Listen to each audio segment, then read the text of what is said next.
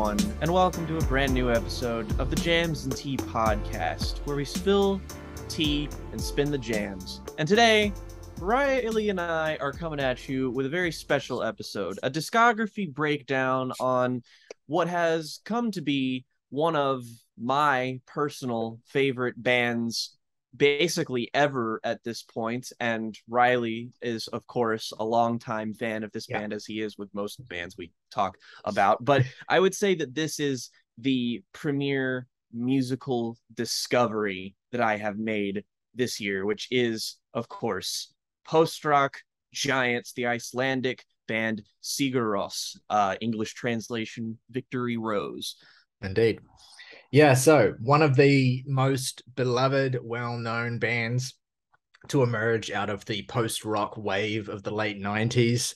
And one of the few bands, I think, to really ascend from that little branch of alternative music, nerd music, and become kind of like a household name in the 2000s.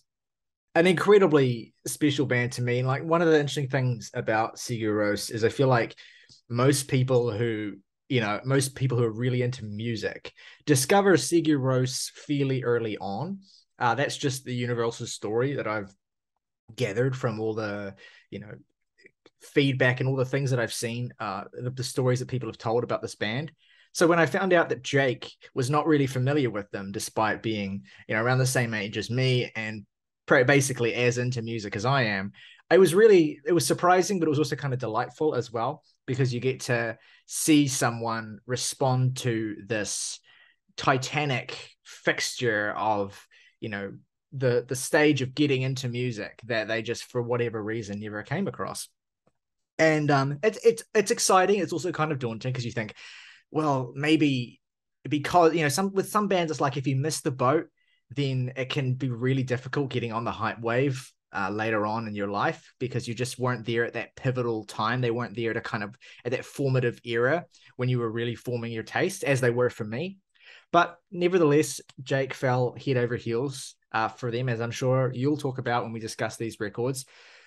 So as soon as I found out that that was the dynamic that we were going to have, that you know I huge long time fan of this band one of the biggest influences on my taste of music and jake only just getting to them now but totally falling head over heels. I knew it would make for a great dynamic for a Discog video.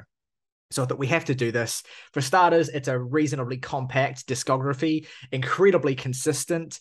Uh, I don't think there's any real low points, or I don't think there will be any real major hot takes in this video either. Like it is, uh, I mean, with a band like Sigur Rós, like the hottest take you can have is, oh, I like this album better than this album, but they're both great.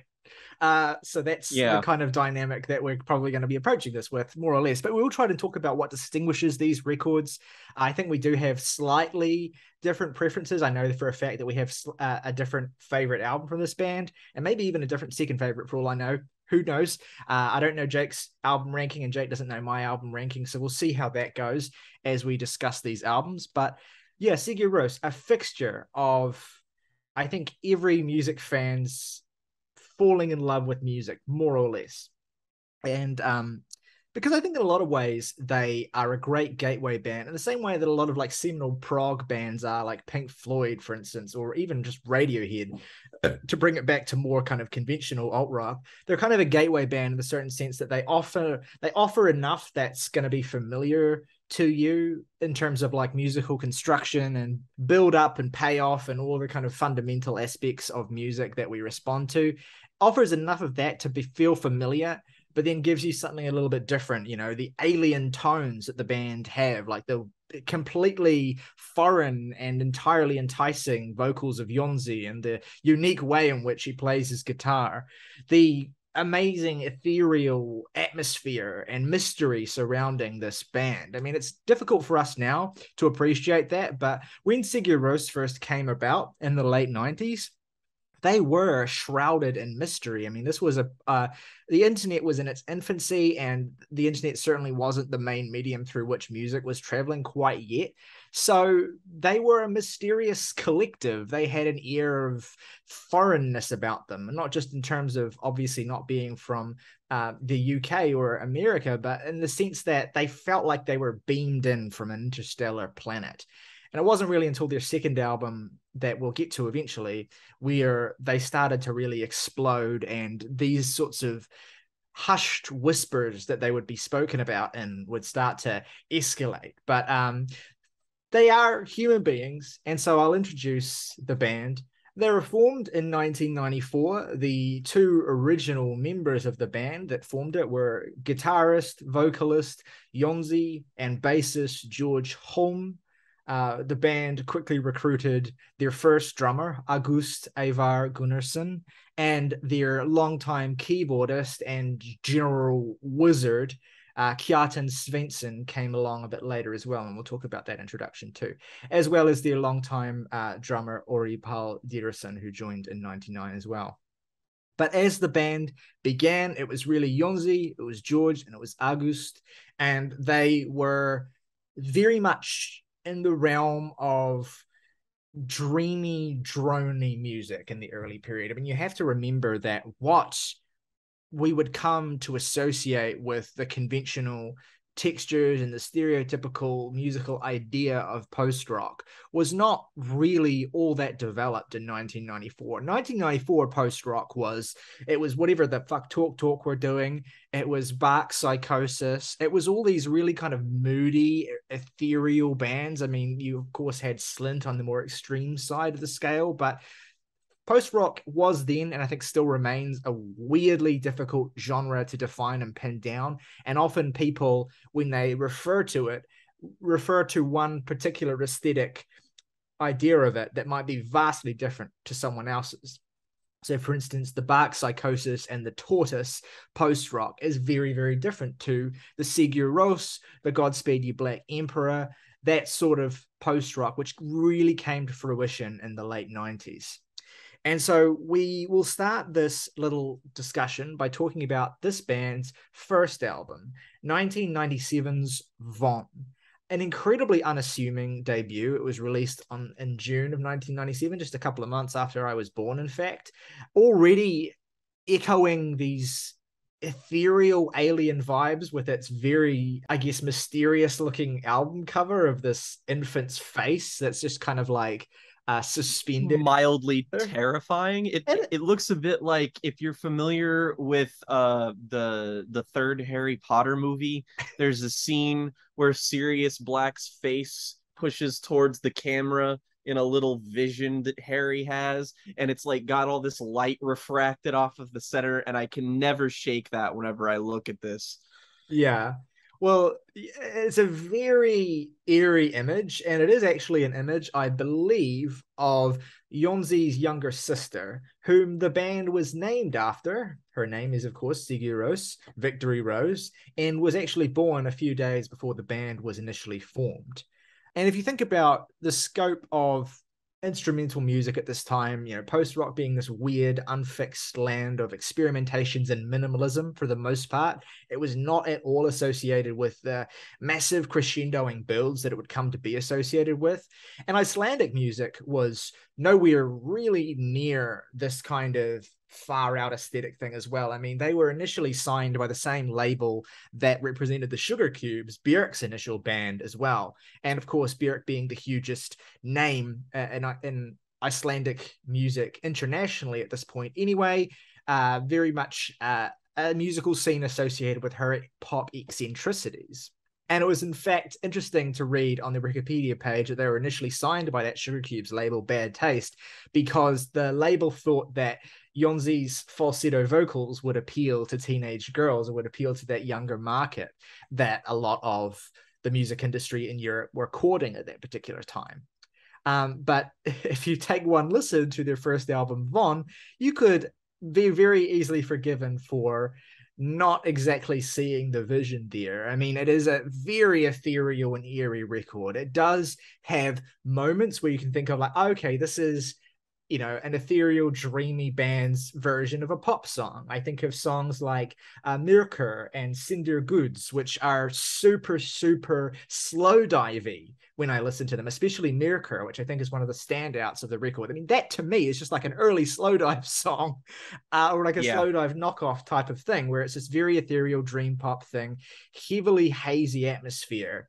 But also, moments like that are sandwiched between long sections of eerie drone. I mean, there's it's about 15 20 minutes into the record before you really get discernible melody of any form. And it does kind of linger in this haze. It's quite lo-fi. You could probably understand that. I, I, imagine it was recorded on a budget. But i mean jake what are your impressions and thoughts of this minimalist and eerie beginning for this band I think it's very telling that I kind of had to come to you when I first listened to this discography and be like, hey, what's this album's deal? Because, like, I've never heard, like, I didn't even technically know that it existed until I, like, actually looked at their entire discography and was just like, oh, hey, look at that. Well, also, you could be forgiven because their second album, the English translation of its title is A Good yeah. Beginning. So it's like you would assume and I'll get to that in a bit, that they were kind of intending for the slate to start there. Um, but no, Von does still exist. I, I was just kind of like, okay, what's the deal with this? And then I saw it's, you know, relatively um muted, let's say, reception. I think this is easily the most uh lukewarmly received release from the band, shall we say. Um, so I was a bit hesitant in approaching it just because uh, it's the first album. It doesn't have a great reputation, and I do enjoy this album. Uh, for what it's worth, I would say it's a bit of a a struggle overall. It's very much a prototype for their sound. Uh, the production isn't what I would call bad in its sort of lo-fi fuzziness, but it does hold everything back. Uh the I think the most standout instrumental quality of this album is the kind of thick, heavy, rumbling bass that just occasionally swallows these tracks and kind of just like vibrates your headphones. Like it can be really disarming to just be taken off guard by that particular quality of it occasionally.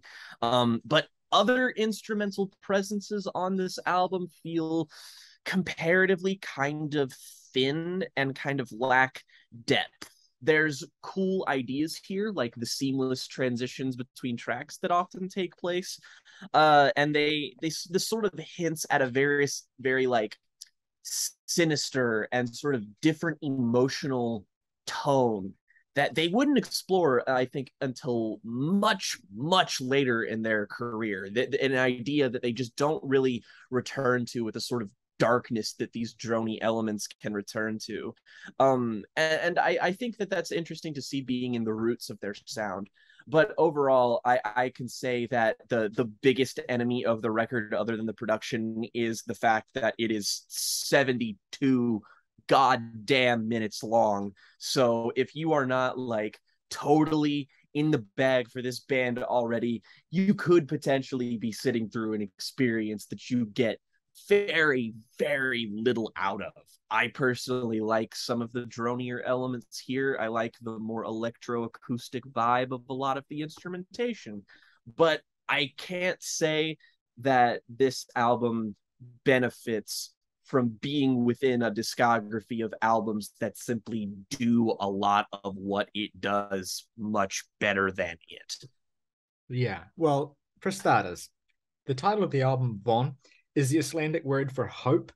And so there is a sense with which this is tinged with, I guess, the band sort of reaching to realize something they can't quite fight real finally realize yet. It's interesting to note as well that it took them over two years to record this um, they had significant issues getting it to sound the way that, first of all, the songs originally sounded when they demoed them, and the way that they wanted them to sound as well. And apparently, according to their Wikipedia page at the very least, the band were on the verge of scrapping this entire thing, but decided that that wouldn't be worth it for all the time they had put into it. So it is and, and what's really really interesting is that they couldn't even afford to pay the studio to record this because they had no money. So they were allowed to use the studio if they painted it. So they essentially got to record this album as a favor. Um, and so you can tell that it very much has those sorts of growing pains. One thing I think that's particularly notable, and we'll kind of come back to this a bit later on, is that two of the songs on this record were later re-recorded and for 2007's Hvarf EP. And you can, if you compare the two the versions of those songs on this record, those songs, of course, being Hafssól and the title track, to the versions that appear on Hvarf, you can tell. I mean, they're light years apart from each other. They're almost unrecognizably Very. different. They've been completely uh, refitted and reformed. So uh, I think that gives an idea of. I imagine the versions of those songs that you hear on Hvarf are what they kind of would have wanted this entire record to sound like with all of these tracks. I was reminded uh, to some extent of early Animal Collective, weirdly enough, listening to this their first two albums specifically spirit they're gone spirit they've vanished and Danse Manatee i was gonna say uh, Danse Manatee was actually something that i thought of while listening to this because i was just like boy this certainly has the sort of rougher abrasive qualities that that album has that probably led to a lot alienating a lot of people when they like went back to discover it retroactively. Yeah absolutely. And i it was like particularly just this kind of uh, moments there where there was a tribal feeling that this record gives off something kind of earthly and kind of dirty and brewing i think in tracks like Veröld ný og óð and um the earlier tracks like Dögun and Hún Jörð um, yes, I have been practicing these. Moments... I haven't, so please do not massacre me for getting these pronunciations wrong. I, am probably American. still getting them wrong, so you know, I'm sure I'm you will get them more right than me.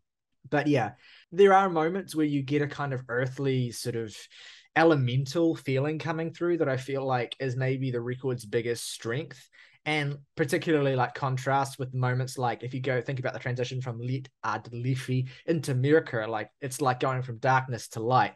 So there's moments like that that are quite effective. I do think that the strongest moment aside from Myrkur is the title track, which has this really lovely sort of like twinkly tone to it that I think is somewhat hindered by the production sound overall, but really does come to the fore when it's re-recorded eventually. It doesn't help that the record ends with six minutes of silence before yes. you then get a segment of the song Myrkur played in reverse for no apparent reason. Uh, other than I guess they thought it the sounded album cool. wasn't long enough already, I guess. So yeah, it's a bit of a mixed bag, uh, leaning more towards disappointing and unengaging. Although I do weirdly, I find myself kind of transfixed by like the first 15 minutes of Eerie Drone when the record starts. Weirdly enough, that's some of the most compelling music here, just in terms of the vibe and atmosphere that it captures, yeah. the eeriness. It feels like something in interstellar space being kind of born. Like it has this kind of big bang sort of feeling to it, but slow motion.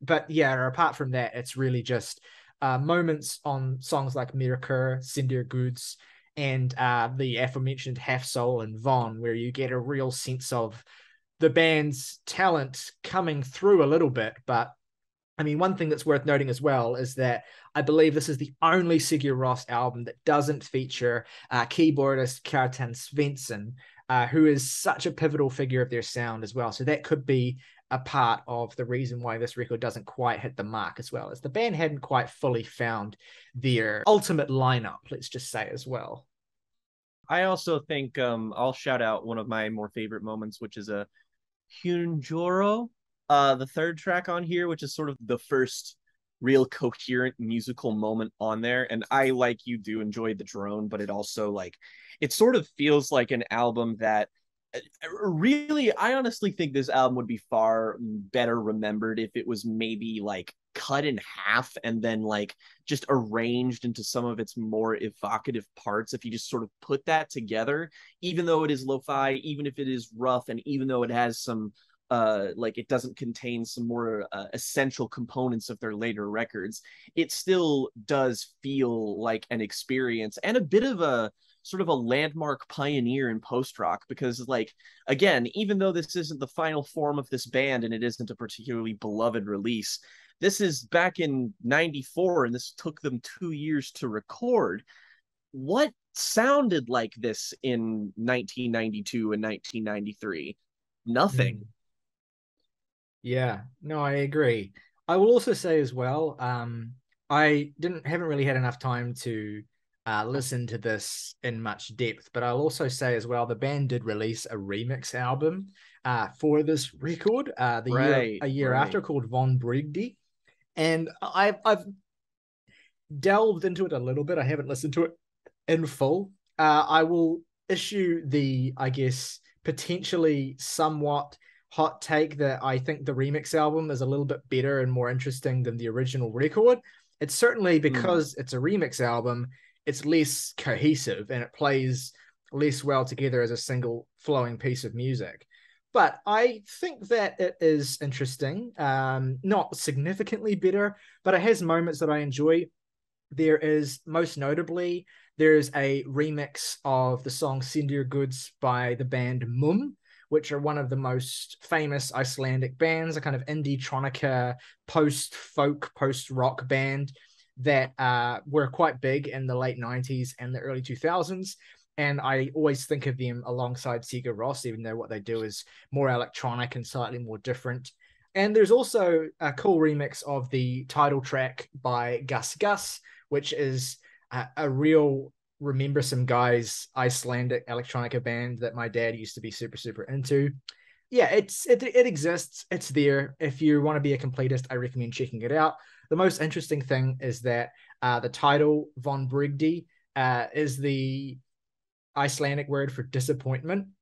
Uh, so the original album is called Hope, and then the remix album is called Disappointment, which I just find to be a funny little bit of a joke this is a band that I think has a really good sense of humor about themselves, maybe something that is less talked about. And they do play with their image, and they do also quite a lot play with expectations and ideas of what sort of band they are perceived to be, especially in the 2000s, what sort of band they are pigeonholed as. And they like to react against that quite a bit the uh, alternate title for uh, a good beginning or the alternate translation is an all right start all right as in like pejorative basically which yeah. i think is really funny yeah and that does bring us to their second album 1999's Ágætis byrjun uh, or a good beginning uh, this is essentially regarded generally as where Sigur Rós starts as a cultural entity, as a post-rock band uh, and and particularly as a fixture of the imaginations and minds of millions of people across the globe. This, I mean, it really can't be impressed. This is something I've had to learn about retroactively, obviously, because I was two when this album came out. But this was beguiling and mysterious, and the entire world, at least the music world, was captivated by this when it came out, and no one knew who the hell Sigur Rós even were. This was just kind of like this transmission that was beamed down and sounded nothing like anything else that had ever been made up to that point. I mean, you think about the post rock that existed in 1999. Basically, all of it was fucking dark and depressing as shit, was morose, mm-hmm. was downtrodden. And Sigur Rós were coming in here and doing something that now seems like a cliche to us, but at the time was a novelty, which was making post rock beautiful, making beautiful instrumental music that made you want to, you know, run across a field or, you know, steer into the sun and blind yourself. It just music that made you feel all of these really, really, really intense things. Uh, in a lot of ways, it's this is definitely me doing a reach and it's me doing a very Ryley Core reference point. In a lot of ways, Sigur Rós to me are kind of like an emo band in some respects. Like they don't have many of the signifiers of emo, but like or the aesthetics of emo, but like in terms of the way the music is used and what the music means to the people that it means the most to, it functions in a way that I don't think is very dissimilar to emo music at all. I totally agree, honestly. This album came like a bolt from the blue, uh, completely blew up the world of music culture as well it quickly gained exposure in Iceland. It did really well on the Icelandic charts. Uh, and then it kind of spread. It was kind of a re- an early example of an album spreading and making its way through to the West, I guess, or making its way through to America through message boards and through like blogs and through just word of mouth, essentially, that kind of lifted it up to this you know thing that was spoken about in hushed tones. And of course you have to remember that this was an era where albums weren't released everywhere at the same time uh, especially if your album is coming from some wacko weirdo place in the middle of iceland right? Most albums in fact not basically all albums at this time were released in different countries at different times. And if you were living in a country where the album hadn't been released yet and you might not have any idea when it would be released either you might have no way of hearing this. Or in this really nascent internet era age, you might hear it through, you know, rips, like really low quality MP3 rips that would get posted on a blog, for instance. And so you would have to really work hard to listen to something that was spreading by word of mouth from a place like Iceland. And you had to essentially use word of mouth to kind of push record labels to buy uh, the rights to release these albums from whatever Icelandic label they're on to whatever US label wanted to and could afford to buy it uh, and, and release it and spread it out. So it wasn't actually until the next year, 2000, that this album was released in the UK, and it didn't even make it to America until, until 2001. Uh, so this album was spread by word of mouth and leaked MP3s and all these sorts of things that were essentially creating this massive buzz around this mysterious band that no one in the West or wherever really knew all that much about.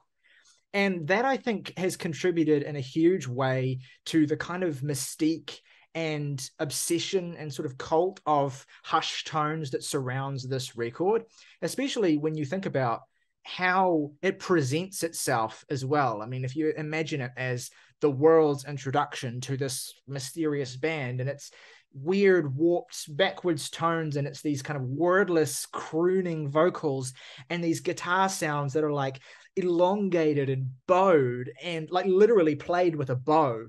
And just these long songs that just go on and on and on and uh, basically extended ambient soundscapes for the most part that occasionally will blossom into something huge and explosive I mean, there is nothing else like it in the world. And it was an absolute revelation. Uh, of course, as I mentioned or alluded to before, this is the first album the band released with keyboardist Kjartan Sveinsson. Uh, the last album they made with their first drummer, August Ivar Gunnarsson. And the four piece, essentially, the these four men making this record, it, it has this fullness to it where each of them are contributing in really powerful and potent ways, even if the drummer is doing something slightly more subtle and the bassist is just providing a really sort of static bed. There's a lot of textural stuff happening here, and it's so immaculately, beautifully produced as well that it kind of just took the world by storm. Jake, what are your overall thoughts on this particular record, how it builds off of that first record, and also the sound of this thing and the experience of listening to it.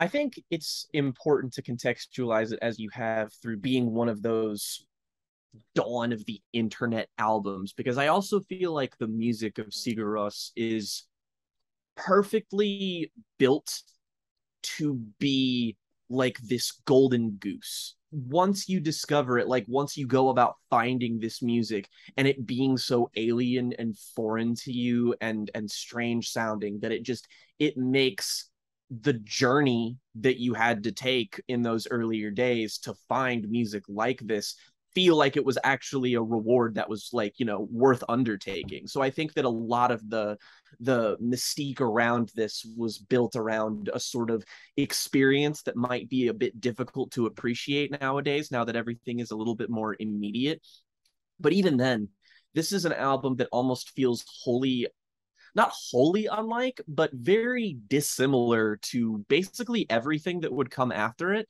And I think that goes from like it being a sort of sonic evolution from the debut record and kind of a crystallization of what they wanted to do in terms of like instrumental identity and the sort of the formation of this mm. oncoming wave of, of genre stuff.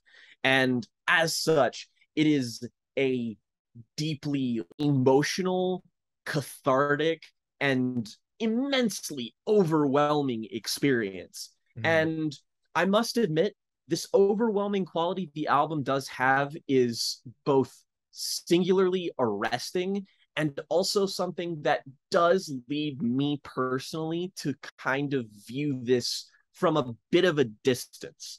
I don't know whether to call this the quietest loud album of all time or the loudest quiet album of all time. Um, I feel like you can simultaneously call it both. And in any given moment, it sort of just feels like whatever is happening instrumentally on any song here is just like it it does feel like staring into the sun it, it feels like you are going to like have your retinas melted uh in a good way mostly like for example uh sleepwalking angels. I i love how the kind of um which is the the first proper song on here which is not the actual name of it but i'm going to use the english names because it's easier. That there's like a sonar blip at the start of this song and it's like and there's sort of an echo that sort of resonates throughout the rest of the track and it's got this absolutely lovely sound. Um there's an obvious refinement from the debut. Uh Jónsi's vocals are just fantastic. And there's certain signifiers that i think great vocal presences in music have that almost becomes like mimetic to them. Um i i often associate like the uh the harmony of woos on a king gizzard track um might might be one such idea. The the particular uh thing i would attribute to Jónsi would just be the um you will hear that a lot yeah uh, sure. it is fantastic every single time uh, so uh, don't you worry. His falsetto is gorgeous. Uh, one mm. of the trademarks of this band. The only thing I will say about this album that I think is legitimately a, a, bit of a weak point for me, and this does have to do with the fact that this was not the first album from this band that I listened to. I listened to their later work before I listened to this, so that informs a lot of the perspective that I'm attacking this band with overall. So keep that in mind but this album does kind of lack a bit of the dynamism that I find so inherently compelling about the rest of their records. There is a bit more of the like loud quiet dynamic as soon as like the next record, which I think is almost essential to like just how great at raw composition they become. And there is plenty of skill being demonstrated here. I think a lot of what sort of is epitomized of my feelings is actually the uh, third proper song, which translates to Fly Savior. This track, it immediately showcases a bit more like expressive vocals from Jónsi, and it feels a little bit more like aggressive at the sort of beginning there. Uh, very like forward in the mix and the way they haven't been before. It's very refreshing in the context of the discography to hear him like singing like this, in fact. It's got this really great, subtle, groovy bass line. And it's also got these like pretty ethereal accents here, but it sort of displays why this isn't the like and, and I and I really do feel the need to emphasize the fact that I do think this album is great. Uh, and it's difficult just because this is like literally one of the most beloved albums ever made. So I, I feel like I am fighting an uphill battle here um, whenever I am throwing a criticism at it. But it's a bit um load blowy to, to sort of contextualize what that exactly means is that it's like purely 100% concentrated orgasmic bliss for the entire runtime of the record. And that's great, but it just sort of rides out a very specific high for its runtime that's very immediate, but doesn't leave me super eager to return to it, even though it's great. Like it, not a lot of the structure of these songs keeps me as invested as some of the other stuff here. But rest assured, there are stuff like, for example, um, uh, new batteries uh, I love the quieter horn sections on here. I think that adds a real spice to the the Mm. sound of the band. The the really serene start here I also very much appreciate. The drums create a very present rhythmic element here that was just not really present before like before it was just like the drums are big and loud and they're going to fucking kill you. And now the drums feel like a little bit more of a backbone in this particular song here. It's like listening to like a large machine slowly start and begin to work after like thousands of years of not being used. The mechanical kind of ambient noises uh, kind of help with that. Uh, and there's also kind of like a jazzy horn at the end. There's a lot of different ideas being thrown at the board here. And there's also what's maybe I think my favorite song on here, which translates to the amusing title "A Good Weather for an Airstrike." Uh, I Yeah. love the piano and the strings Ah. that eventually yield these like bluesy guitar licks. Gorgeous stuff. Jónsi's Classic. vocals just kind of drift into the ether. It's it's it's fucking amazing. One of the best songs they ever made. Yeah, I completely agree. And it's interesting you bring that song up as well. So I would say, I mean, there's a number of songs on this record that are kind of iconic in their own right. And this sort of brings me to one of the essential aspects of how Sigur Rós became one of the biggest bands in the world, aside from just the music itself. But it was the way that they licensed their music to be used in films. Now, if you speak to Yeah. anyone who got into Sigur Rós in the 2000s, at any point in the 2000s, you ask them, how did you discover this band? The vast majority of the time, I suspect, you will hear a reference to a film of some kind. Yep. The first major track here, Svefn-g-englar, Sleepwalking Angels, as you said before, to me, this is like one of the post-rock songs. Like this is this song is like iconic. Uh, it's in the movie Vanilla Sky, uh, and it's far from the only Sigur Rós song to feature in that movie. And this is kind of like I want to just zero in on this song for a minute because this is an absolute top three song of this band's for me. The the moment in this song, so you mentioned that kind of like radar sound that starts in the intro track and then kind of continues in through this. It's like some interstellar beam is discovering some like life force and it's essentially booting up and rearing to life in this song. And I've mentioned as well the particular technique with which Jónsi plays his guitar, where he uses a cello bow um, to get these really long, heavy, loud, continuous tones out of the guitar as he plays it.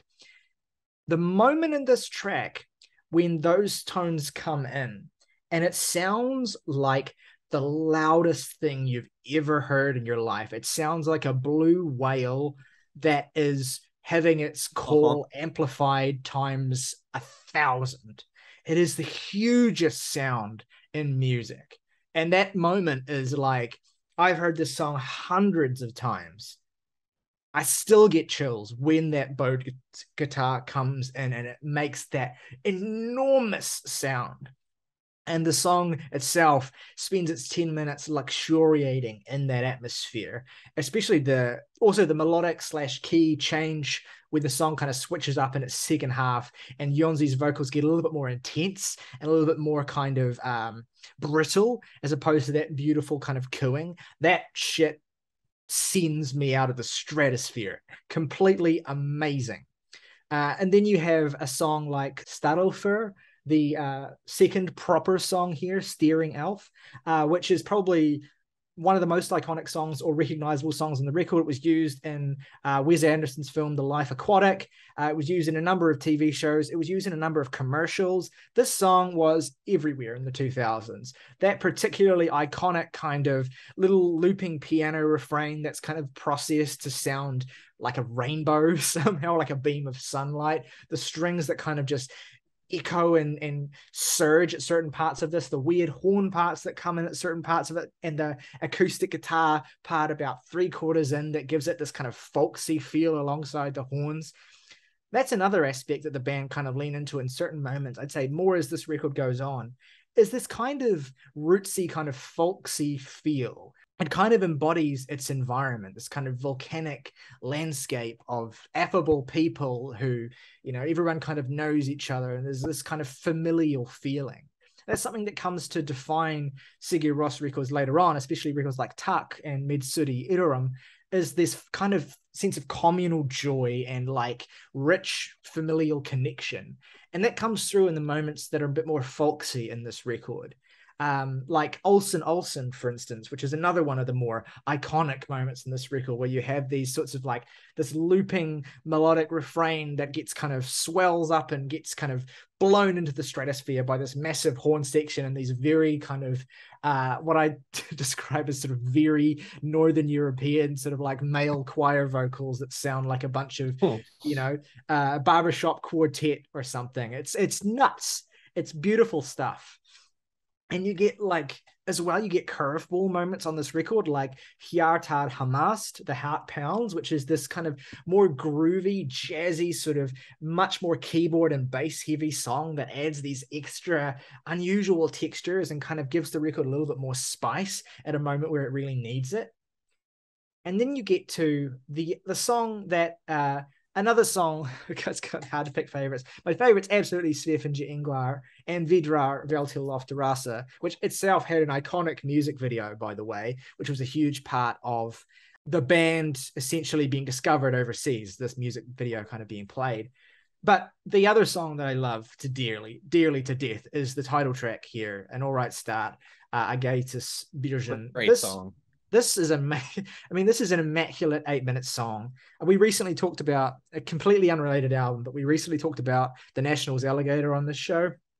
Um, and it has the best song on that record the geese of beverly road is the song that has this sense of nostalgia and kind of wistful joy and it kind of goes on this journey across its runtime and then ends back where it started and this song on this record has a very similar feel to me. It has this homeliness to it, it has this comfort, it has this beautiful sense of gentle progression that it goes on and then eventually returns back home. It's one of the most modest songs on here. The piano playing is like it's processed to sound a little bit electronic, but also really really hard hitting all the same too Jónsi's vocals are a little bit more intimate and just kind of restrained but also quite beautiful as well there's little touches of acoustic guitar as well. It feels like the record is kind of just coming down from this massive extended swell that it's been on that you've I think quite fairly described the overall sound as being like and it's just the perfect way to kind of bring this record back to earth. I mean the moment where the song ends and you just have this like tiny little hum from Jónsi sounds smaller than he's ever sounded after a whole record of sounding like this massive alien titan he just ends in this place of of just contentment and peace. And then the record gives you the uh, moody outro of Avalon, which I think is just the opening track slowed down extremely like the intro track just slowed wow. down um to like a uh, a very very slow pace and then kind of maybe some effects thrown on there or something.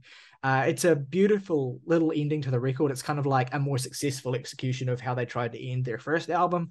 But yeah it's i think i can definitely see how and I, I feel this to some extent as well. I can see how it's a bit of a struggle to get into this record for some people who discover them for their more kind of immediate and I would say dynamic and visceral material. And I completely relate to that, uh, especially because this was like the third album I heard, and it was, you know, it took some getting into for me over the years. But I do think that from start to finish, this is one of the most immaculately paced, well flowing, and singularly compelling Sigur Rós records, even if the kind of midsection is a little bit moodier and slower, and it takes a little bit of time to kind of linger in the ambience, maybe a little bit more than you might want from them if you're in that re- mood for the real cathartic stuff. But to me, it just makes the cathartic arrival of songs like Viðrar and Olsen Olsen all the the better when they happen it's an amazing record. It's an immaculate record, and yeah, it has all of this hype surrounding. It. It's one of the greatest albums of all time. But it's a testament to this band that the title of best album is still widely divided, and there is absolutely no consensus whatsoever. No matter what ratings you see on what websites, no one can agree on what this band's best album is. You ask 10 different Sigur Rós fans, they will probably give you 10 different answers. Uh, that's a bad way of putting it because they don't have 10 albums, but you get what I mean. I was gonna say. Um, I, I um, do get what you mean. Even even though um I will say for a moment that I really do love the closer here, Avalon, in that I feel like it sort of hints at things to come and that the sort of sonic timbre of this song in particular is like immediately reminiscent of the next album that we'll get to. Yeah. And I just it has the tone of like I mean th- this band given that they came up in the same sort of time and they are kind of like an internet forum band uh I think that this is sort of the motion picture soundtrack to this particular uh part of the record and it just feels so it, it feels a little bit more sparse, but I feel like after everything that comes before it, it feels essential that you just sort of leave the listener with this sort of instilled sense of awe. And I feel like that's the sort of main quality of uh, a good beginning is that it's just it's focused on being as big and overwhelming as humanly possible.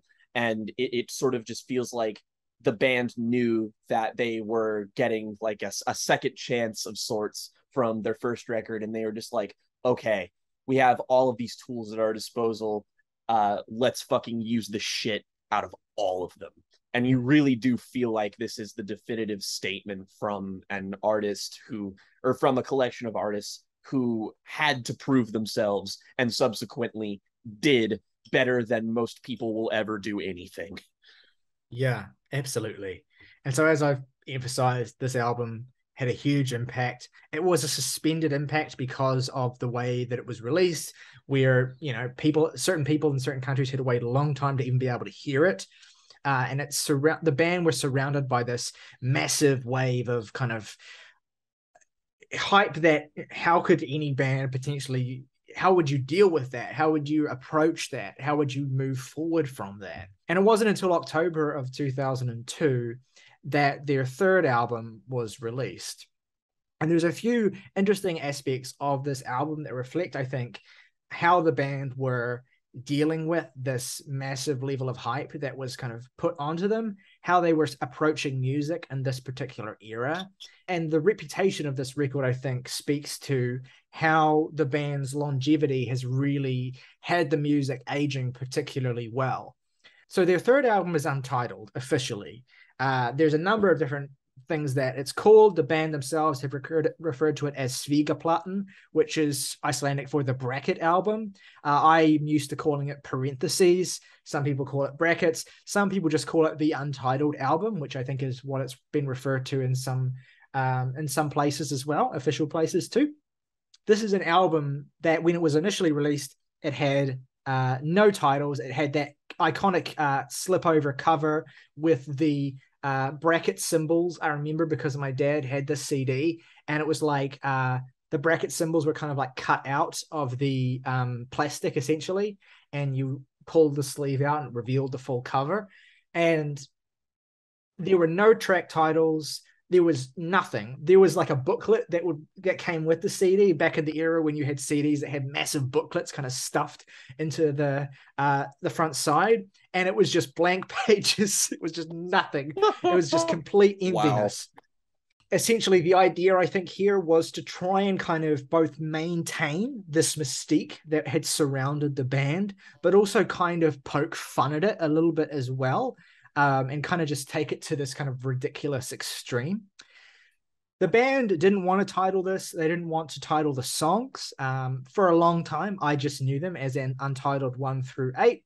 Although the album was eventually re-released with titles as well. Uh, each of the titles, or not all of them, but most of them being like the something song. Uh, like uh, the second track is amusingly translates as the first song, uh, Fyrsta um, Samskeyti, the Seam song, Dauðalagið, the Death song, Popplagið, the pop song, uh, and a few, and uh, Njósnavélin, which is the Nothing song. Uh, lots of different titles that were kind of imposed afterwards on these songs by the band. And the album has a really interesting structure and progression to it that kind of makes the most out of this mystique and kind of continuous blank slate. For starters, this nothingness is emphasized by the fact that, in stark contrast to Ágætis byrjun, there's no Icelandic spoken on this record. Uh, it is these re- very repetitive and a very very short number of continuous gibberish refrains essentially that come came to be known uh, officially as Vonlenska, I think, and then pejoratively as Hopelandic, which is a very stupid term that Jónsi has roundly rejected. Uh, but anyway, whatever you want to call it, it's the it's just these meaningless vocalizations essentially, where Jónsi is retrofitting. Jónsi is, I guess, making his voice, emphasizing his voice as an instrument or as a texture in the songs and nothing else really. Not really positioning himself as a singer of any kind rather just someone who is adding to the texture and progressions of these songs in the same way that any instrumentalist would. It's worth noting this is the first Sigur Rós album to feature their second drummer, Orri Páll Dýrason, whose presence I think uh, in certain tracks on this record, especially, but I would say fairly consistently throughout, is very strongly felt and we'll emphasize that on certain songs at least i will for for sure. And i'm kind of going to give the game away a little bit here. This is my favorite sigur Rós album. I think it's I, i've I, it's not an unpopular pick. It's interesting a lot at the time a lot of kind of critics and the general reception was kind of a little bit frostier on this than the previous record. I think maybe part of that was how standoffish this album is in comparison to its previous one. Like the previous album is, I think, in a lot of ways, a bit more welcoming than this one is. This record can really linger in some sustained uh, and very dark tones for extended periods of time. And it can try the patience of people who aren't particularly keen on that mode, especially when you have these vocal refrains and repetitions being so continuous and so repetitive.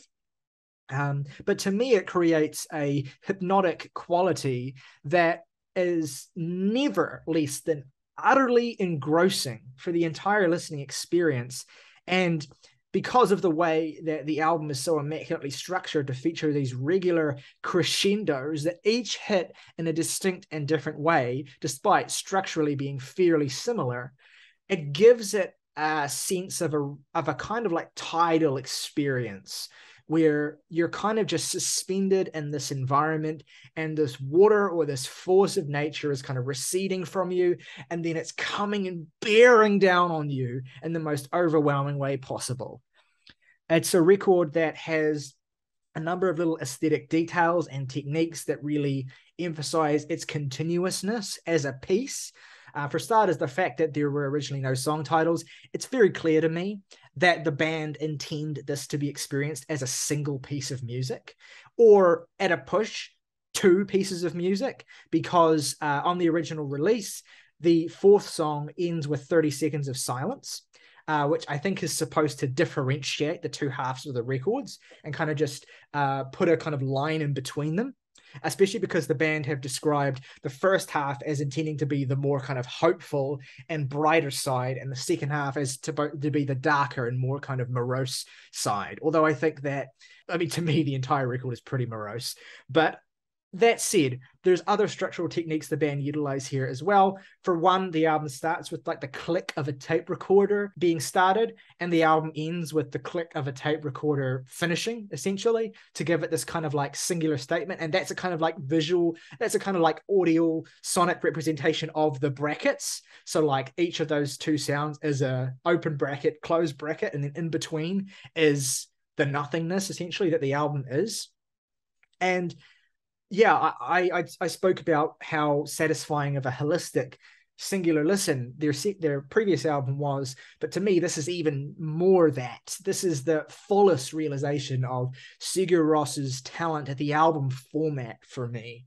Uh, it's an album that is so captivating and so emotional as a listening experience that I I have never gotten tired of this. And if I, if anything, I feel like I've only gotten more and more fond of it as the years grow on, I'm very, very close to uh, awarding it a perfect score. In fact, uh, it is a remarkable album that meant a lot to me as a kid, even if it wasn't the album that meant the most to me as a kid. We'll get to that shortly. But it is the album that I think really taught me what Sigur Rós were all about in terms of the power that they could wield and the artistry that they had, the the the the the compositional skill that these guys were working with and that they were executing to excellence in this particular era of their career. Jake, at what point in your Sigur Rós die did you get to this album, and what was your experience like uh, coming into this and then listening to this mammoth album? I listened to the final two albums in this discography first, and then after that came back around and sort of went in order. So I listened to this afterwards, and honestly, it, it's weird just because in terms of like raw sound, they're not that different, but in terms of like the approach to how they build these songs, I think that it couldn't be more different from a good beginning. And I think that it benefits from that because it forces them to operate in a lane that I think inherently has more restrictions, but forces them to make everything a bit more tight, a bit less monotone. And as a result, it creates an experience that is wholly captivating. I fucking love this record. I mean, not that uh it's you know not that hot of a take or anything. Um, this is like the the second most beloved record from this band, uh, and as you mentioned with their first album, a lot of people first hear Sigur Rós in uh, like films and what have you. And I would be remiss not to mention uh, this is a, the most Jake core of references here, but uh, my favorite song on here was my favorite song on here before I even heard the album, just because I had been captivated with this piece of music before um, and that being uh, Untitled 3, which is, I mean, a flawless piece of music, frankly. That's a that's a top tier track from the band for me. Uh, mm-hmm. But I, I cannot go without mentioning its usage in Gregg Araki's Mysterious Skin. Oh, yeah. if you know, if you know that film, and you are at all familiar with its ending and its utilization in the ending of that film, it's like impossible not to well up. It's like I, can basically hear the Joseph Gordon-Levitt monologue that happens at the end of that that's quoted directly from the Mysterious Skin novel, and I just fucking weep. Those really, really lonely sounding piano notes at the very end here are oh god, it's exquisite. It's it's literally one of the most singularly beautiful things I've ever heard. It's it's also one of the simplest compositions on here though. It allows for a real less is more approach that I feel like the album kind of embodies and it comes to this like this subtle build the piano melody the rising strings the the slowly building drone it's all, all paced so flawlessly and there's like a really subtle key change in the piano at the end and from then on it's just rocket over the fucking moon fucking dead baby in imax all the fucking hyperbole i can possibly throw at something like this and the whole rest of the album frankly is not that far removed from this piece when it comes to quality, which is the most astonishing. Like, I had a connection to that song before I even knew it was a Sigur Rós song, and the the bewildering thing is that it's like, oh, the whole album is this good. Fuck. Mm. Like it's probably uh, the most I'm... sonically unified Sigur Rós album in a certain sense that the songs yeah. like like they all fit together and they all feel of a piece with one another and that's something i've seen used to wield against it that at points it can feel kind mm-hmm. of like it drags or that it kind of wears certain ideas out but i just I, I don't feel that to me it's it's just consistently no. hypnotic and beautiful and, and really arresting it, it feels like they're using a, a a a definitely more limited palette but to achieve different effects with that it's also not the only time i think this band will play with the idea of two distinct halves of an album being very different emotionally but i do really love how like untitled one for instance really picks up on like right where Avalon left off on the previous record for me. Like it's a really moody refinement of some of the melancholy that was found occasionally on A Good Beginning, and the, thus feels like the first time since the the proper debut where they're incorporating elements of that kind of sparse, dreary darkness that you could find on that record. Mm-hmm. And it's got this more it, feels like adorned with a more subtle detail and structural build and this twinking twinking twinking wow twinkling beautiful climax that uh really comes out of left field. It feels like it like sucker punches you almost like you don't really expect it to happen. And that's what i think is great about sigur Rós is that like and that leads to me i think subsequently discovering this band at like the perfect time for me is that i have so attuned my sensibilities to the world of post rock to be very very specific and I feel like Sigur Rós, in a respect, don't really like they don't intentionally subvert it, but because they are who they are and they are from their own world and have their own influences, they end up just sort of coincidentally subverting a lot of ideas that we do sort of take for granted in terms of post rock, which simultaneously make it really different and refreshing, but also make it really new feeling and, and, like give it a sense of, of wonder and mystery and allow for it to be kind of accessible. Like you can understand why people sort of got into the sound other than it's just kind of alien quality. It, it feels like something that is inviting and welcoming and i feel like this album feels like it just sort of allows you to kind of fill in the gaps yourself a little bit mm-hmm. more with it. it. it sort of has a more versatile emotional tone to it that like you feel like it can soundtrack various parts of like just what you experience with it and i feel like that is a key aspect of Sigur Rós's music. Um, I also think that that's very much uh, the case that uh, with like the the final stretch of this record with uh, Untitled Seven and Eight, which are two deeply underrated pieces of music, honestly, especially Seven, being my second favorite thing on here. It's like the most slow paced thing on here, other than maybe like Five, which is like a dirge, but like a good dirge.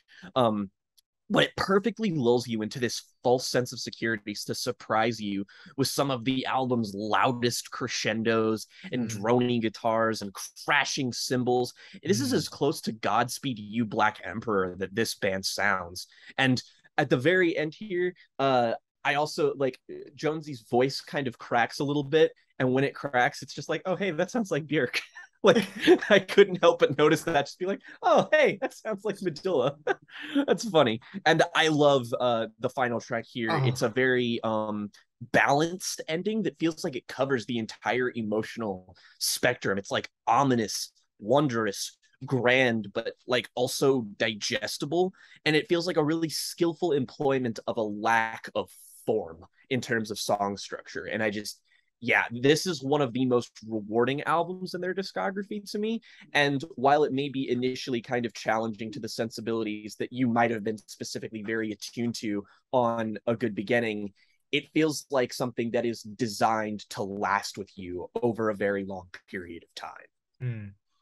Yeah, I mean, I can't say enough good things about the final stretch of this record. I mean, the last song, Popplagið, the pop song, uh, amazing title uh, again that sense mm. of humor coming through that is like they close i think they still do close most of their concerts with this it is their most like beloved of the massive big long crescendo songs and the last mm-hmm. kind of mm-hmm. three minutes of this song are like some of the loudest hardest music made by anyone ever in the history of music like that i've ever it's heard nuts uh particularly i want to shout out Orri's drumming as well what he is doing not even just here but throughout the record as well. There's like this real metallic sound to the way that he drums on this album yeah. particularly in the like crescendo moments. Like what i mean by that is you can hear like the sound of like clashing metal of like just cymbals being crashed and just the kit being absolutely mutilated. Like there's this groove that he sinks into uh, in the last part of this last song that's so fucking sophisticated and complex for a post rock build up payoff that the first I remember listening to this as a kid and I was kind of like overwhelmed by it. There's certain things that I couldn't quite connect to the way the song ended because the drum part was just too sophisticated for what I would expect from this kind of ending. Like he was he's just doing so much shit that feels unnecessary, but adds this extra layer of of satisfying musicality to the way it ends. And he's doing that throughout the record very consistently. I mean, the only song he doesn't really have a presence on is the third track, and and that's a, a smart decision because that song is powerful yeah. for how minimal it is. But like even the little details there, like on that song, the way that the the it's a simple piano loop that just continually builds and kind of it feels like it's moving upward, but it isn't really changing. What's changing is the background. Like you have this again, that bowed guitar, you're getting elongated, stretched out, singular guitar tones, and they're getting louder and more intense, and the effects that are being played on them, the distortion is growing and growing. And then there's that amazing moment where like you just that that piano loop just leaps up like two octaves towards the end, and it's just like just insane.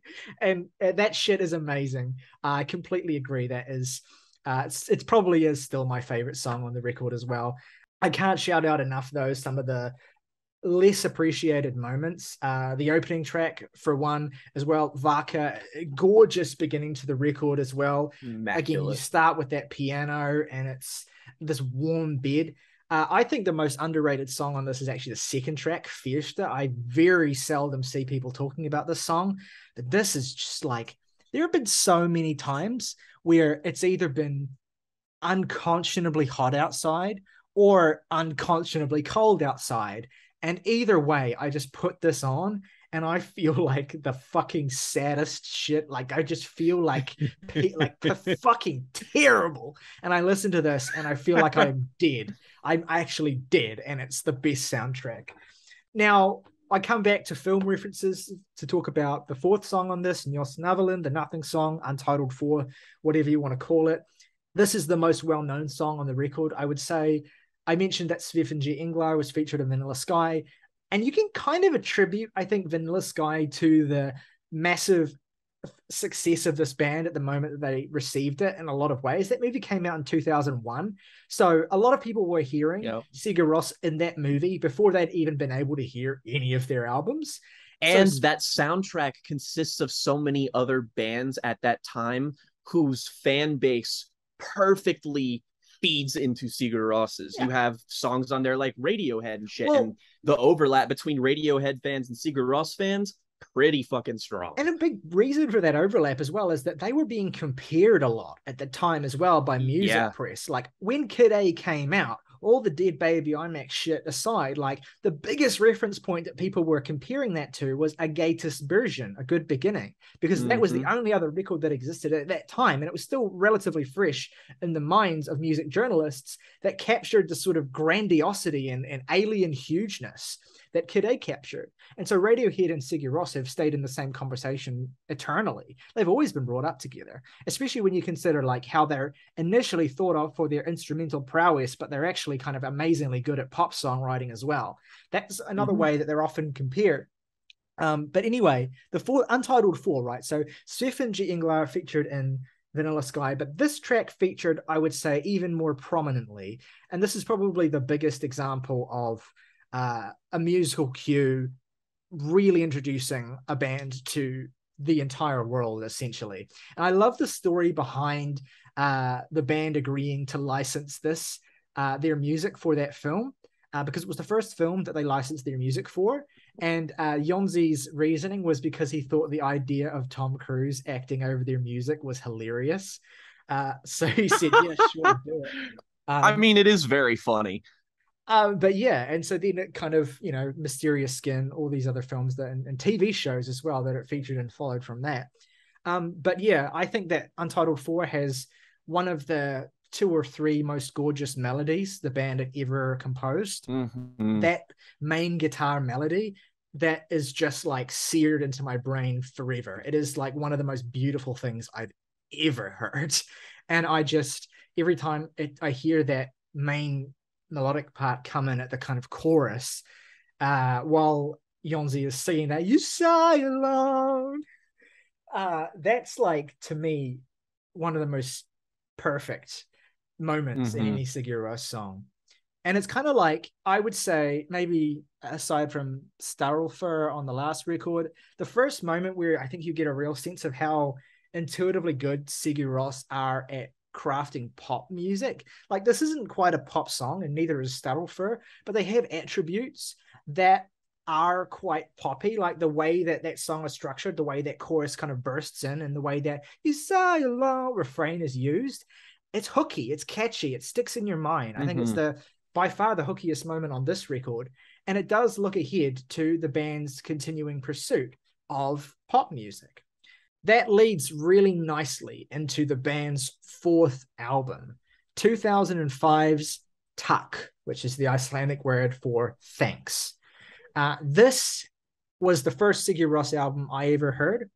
Uh, my dad had it on CD. I remember he bought it the I'm pretty sure the month that it came out here uh, in 2005, and I also remember uh, my first ever exposure to this band, which was the music video for the song Glósóli, uh, which is Icelandic for glowing soul this is was then my favorite song of all time when I first heard it. Now, admittedly, I hadn't heard many songs at that point. I mean, discernible songs that I could name, probably like 50 to 100, I guess. I don't know. But this was number one for the longest time. And it's still my favorite Sigur Rós song. This is one of the most nostalgic single pieces of music that there that exists for me. Uh, this makes me feel like I am eight years old. I was eight years old when this came out. but also makes me feel like I'm 88 years old. It's it's kind of the the the beginning proper to this record because like with a good beginning, you have a sort of gentle intro track that kind of like texturally eases you in, and then this begins as the first song proper. And this song fucking rules. Like this, everything about this texturally is everything I love about Sigur Rós. And already you notice a change from parentheses.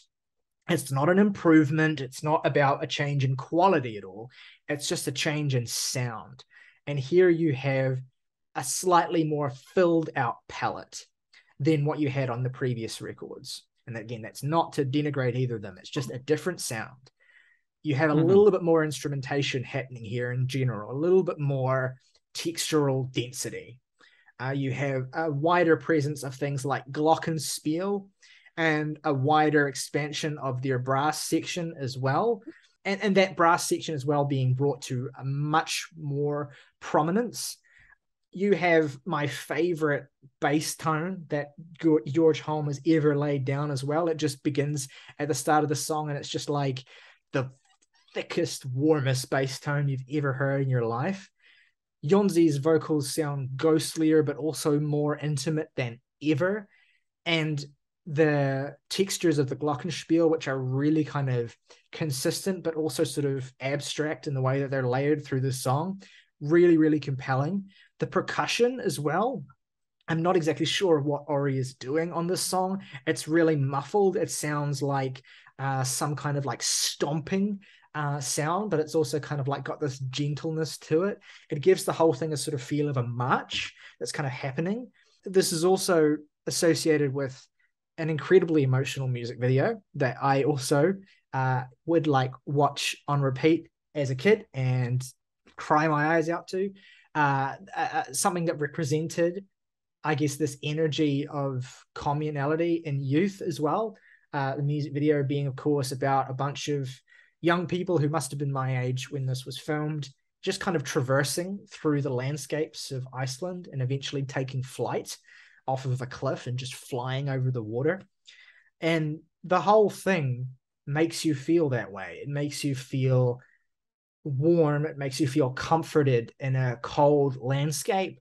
It makes you feel like you are surrounded by people who feel the same way that you do and then in its gorgeous build to its genuinely metallic con- conclusion it feels like the anything is possible it feels like you are taking flight. It feels like you are bursting into flames and emerging from that fire as something that cannot be touched. And it still to this day gets me. And I've heard it probably at least 500 times, um, especially considering that in the early days, when I had my first MP3 player and I only had like 50 songs on it, and this was the first one. Uh, and you know how I know it was the first one that showed up when I brought opened that up and turned on the songs is because I deliberately put a zero in the front of the title because I had ripped it from YouTube. Uh, probably sounded like shit. Um, hmm. no, I would have ripped it from the CD, but I ripped a whole bunch of Sigur Rós songs from um, YouTube that weren't on CDs that my dad had. Um, but I deliberately put a zero in front of the title so that it would, because they all just went in alphabetical order on this thing. But I mm-hmm. wanted this to be the first song, so I did that, and I remember that distinctly. And yeah, and it's it's it's one song among many on this record that are associated and embedded so firmly in my childhood to me. To me, this is the most consistently comforting and exciting and life affirming Sigur Rós records. And of course, as well, just to take it away from me a little bit for a minute here, probably I don't know if it's the still the most commercially successful and well selling one, but it is definitely up there. This album was the moment I think where Sigur Rós really crossed over. And a big part of that was the, was the success of songs like Glósóli and Sæglópur, my second favorite song on here, just which just builds and builds and just explodes and is the most amazing sounding thing ever. Like half of this fucking record is. Those songs were huge. They had music videos that I remember distinctly. But the biggest song on this record uh, probably the still the biggest Sigur Rós song, the one that any individual random human being is most likely to have heard, is Hoppípolla, hopping into puddles. This the the piano melody from this is iconic and has been in like so many different mm-hmm. like commercials and trailers and all sorts of things that it kind of you know that saturation of it threatens to take away some of its power but I still feel like when you put this record on and you hear it, like I mean, it's it's so impossible for me not to well up a little bit. It's it's incredibly ostentatious, and it represents like, especially when the strings sort of swell and the towards the end of this, it's like so melodramatic and over the top in a way that Sigur Rós were leaning into with their late 2000s albums. But I don't know, it still feels like one of that era's like most essential and, and beautiful songs. I could go on and on about this record, but I'm going to stop there and I'll come back to uh, favorites and stuff. I'm curious again. So, presuming you're going through Sigur Rós in order at this point, uh, what was this the experience of this one like for you, Jake? Uh, what stood out about it to you, especially coming off of the back of a record as austere and sort of cold as the the parentheses album? It's interesting. I originally listened to this and while I immediately gravitated towards the fact that this feels like like glowing soul for instance. I mean you talked about that wonderfully. That's my favorite song on the album too. It's a perfect song. I it's it's just but but it also feels like the most traditionally structured sigur Rós song up until this point which i think once you sort of illuminated me into the fact that this is like the most commercial like at least one of the most commercially successful sigur Rós albums that makes a lot of sense to me. It's because it isn't really hindered by the potentially alienating slower pace of uh the of a good beginning or brackets. So you know if you're just looking for a commercially viable accessible version of their sound this is absolutely it. If you're looking to get into this band, this is probably where I would recommend you start because it's going with like it's playing with ideas that feel a little bit more conventional. It's just filtered through their sound. And originally, when I listened to it, I kind of had the same problem with it that I did a good beginning, where a lot of it did kind of feel a bit emotionally monotone. But the more I listened to it, the more I kind of discovered that this album's secrets are in its very tiny instrumental details, and that this became probably the biggest grower in their discography for me. Just front to back, it's full of such energy and vitality, and it feels like it really just purely evokes youth just by its sound. It, this song, there, these songs just feel inherently linked to a sense of nostalgia and and childhood. That it, it it starts to feel like almost that Sigur are sort of becoming a dream pop indie rock band. Like this is when the band's uh connections to uh other sort of acts like you know quintessentially 2000s acts like animal collective i think it becomes a little bit more tangible and also sort of explains how they were able to sort of maintain success the way that they were.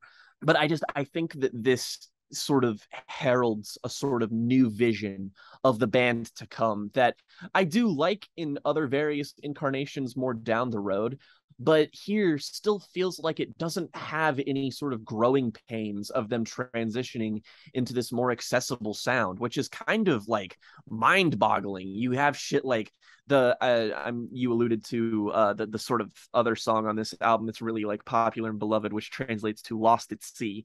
The the piano melody at the very beginning of this is burned into my brain from the moment I first heard it. It's so simple, it's so gorgeous, and this just like if you thought that the sort of like crescendos and explosions of drums on the previous two albums as sparsely as that actually like happened as an instrumental idea was cool you're gonna dig the shit out of this album because this is when the rhythm section really becomes like not to like underplay its usage before but here it becomes the vitality of the band. And like the the drums on here they sound enormous. And they invoke like a real feeling of melancholy at the end of this song somehow. And yeah. I, I, I will say that you, you kind of have to listen to it multiple times to sort of get the kind of multifaceted emotional tone that this album does actually contain. I think there's also like uh the penultimate song uh so quietly is like it has like the thickest atmosphere of anything on here. It feels like you just get lost in it. It has like this really odd timbre that feels like foggy and surreal until the proper song just kind of locks into place in its second half. And like the, the second half of this album just kind of hits this stride where it almost feels like a continuous stretch of music that's ever evolving, but they do still feel distinct within their own specific structures. It just it feels like the point where they have discovered a new facet to just drive their sound from this point onward and it's so so ruthlessly compelling and and fun to listen to like this is a just a, a joyous record i just put this on and for as multifaceted as it might be i, I just have an absolute blast with it I've, like it, feels like an album that contains the the pure essence of of childlike wonder and I, I really value that about this band. Mm. I think I feel like I've already told enough stories about like experiencing this record and and well specifically Glósóli, but really the whole thing that it's really kind of embedded itself and stuck into my mind. Like for most people, Hoppípolla is you know a happy commercial song, or they think of the music video, which is literally a bunch of old people causing mayhem uh, in an Icelandic city. Um, but I think of like for me, that song is inextricably attached to Með blóðnasir, uh, the song that follows it, which is kind of like an extended outro. That again is like it has this unnecessarily fucking awesome drum solo that's being played oh, throughout. God, it. yes. It's so fucking sick. Um, there are moments that don't connect with me as much, like Sé lest and uh, the closing track are a little bit more pared back, but I don't, I never want to skip either of them. Uh, and I do think that the no, back half of this record has its delights as well. Uh, I want to shout out uh, my favorite, probably my favorite deep cut on any Sigur Rós album, a top five song of theirs for me, Gong, the eighth track here. Ooh, uh, yeah. This to me is like, I. I don't know why this song isn't massive. Like this song is so in your face. It's so punchy. It has such so much of the uh, attributes of their most accessible work that kind of makes it really, really easy to just play on a loop or get stuck in your head. Amazing piano melodies. Again, absolutely vicious drumming, but it's like, it's not overwhelming. Well, it is overwhelming, but it's not like so intense that it overthrows the song. It's just like really, really persistent yeah. and complex. And it just gives it this real quality to it, this heft and this forward movement that is such a big part of so much of the music that I love the most from them. Um, but you also get uh, in their songs that are a little bit more uh, sprawling songs like Milano and Andvari, uh, the song that follows Gong, which kind of like is subtly one of the most beautiful songs here, actually, this ninth track, because it's it just is a real showcase for how beautifully this band can use strings as well to accentuate uh, and kind of almost harmonize with or complement or play off of what Jónsi is doing vocally. And I love the decision to just like let the last two minutes of the song just be an extended uh, moment to sit with the strings and nothing else. It's so mm-hmm. beautiful and it's such a an unusual decision that kind of really catches you off guard. It's a record that I think for all of its immediacy, it does allow itself to meander in certain parts. And I don't say that in a negative way. Um, because I think with Sigur Rós, yeah. meandering is kind of it's part of the deal, especially when the music is as beautiful as it mm-hmm. is. Uh, sometimes I do think the songs meander a little bit too much, as with Sé lest and Milano, but they are worth it for the satisfaction of where those songs go and what they give you. Uh, and I think that even though the record feels like it almost has three consistent songs in a row at the end that kind of sound like the end of the album, it almost like, okay, this must mm-hmm. be the mm-hmm. last song. Oh, okay, there's another one. That's cool. Uh, it doesn't really hmm. detract all that much from my enjoyment of the album or my ability to listen to it in full. It, it just no. makes it all the more uh, like a an embarrassment of riches, I suppose I would call it. Um, mm-hmm. But yeah, at the end of the day, I come back to Glósóli, I come back to Sæglópur, I come back to Gong, I come back to Andvari, I come back to Hoppípolla and Með blóðnasir all the time. And in most of the times that I feel like coming back to those songs, I'm inevitably listening to this whole record.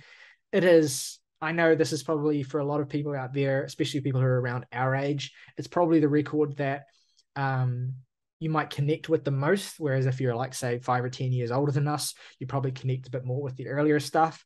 But this is mm-hmm. the, you know, this is the album for people who were, I think, between like five and 15, I suppose, when it came out. Uh, this is the album that I think is Sigur Rós the most, if that can make any sort, sort of sense. Um, mm-hmm. And it, it is such a smart and like savvy decision as well to kind of really build on their hype. And it feels in a lot of ways like what you would expect this band to do. And you're almost surprised they haven't done it sooner. And it's really interesting because you can see how it does, and again, subtle ways borrow from certain cultural tropes of bands like Radiohead. And you can also see how it would go on to influence bands like Coldplay as well. I was thinking about it this week about how much this album clearly influenced like Viva La Vida era Coldplay. Um, and their decision to kind of pivot into that sort of more grandiose direction. Uh, I do think this is one of the most influential albums of the 2000s and one that will probably mean a lot to me, mean the most to me uh, forever. Which brings us to a stopgap release that we need to talk about before we move on to the next album proper. Uh, the 2007 mm. double EP, uh, Hvarf Uh, technically, it's two EPs that are kind of packaged together in one release. Uh, one is an EP of original material, well, mostly original material, three original songs, and then two re recordings of songs from their first album, one of which featured on the single release for Hoppípolla, and then there's another EP package along here of live versions of songs from previous records as well. Uh, this is, of course, Hvarf Heim, which was released in conjunction with the DVD documentary slash concert recording uh, film Heima, which I remember very distinctly watching when around the time that it came out. I'm pretty sure my dad either rented or bought that DVD. Um, but this was kind of released as a sort of an accompaniment. I kind of think of it in the same way that I think of I think of this in association with Takk in the same way that I think of like Still in association with The Fragile uh, by Nine Inch Nails. It's kind yeah, of like this sort of uh, complementary thing that kind of gives you a little bit more. Although I guess maybe the sound of it is a little bit closer to the Brackets album than Takk, but nevertheless, Mm-hmm. A, a, record, a release that I've kind of underrated. I haven't actually listened to this as much as I maybe should have, but I've spent a lot of time listening to it in the last few weeks, uh, particularly Hvarf. I mean, the live versions on Heim are great, and they have this mm-hmm. more intimate, sort of stripped back quality to them that makes them quite nice and unique. But I really am here for the Hvarf EP, the five songs on side one, which incidentally is uh, depending on how you translate it, that word can either mean disappeared or haven, which I think is interesting. Mm-hmm. But yeah, Jake, what do you think of this of the original songs on the Hvarf side of this split EP, and how do you think that they fit into or complement the albums that we've already been talking about?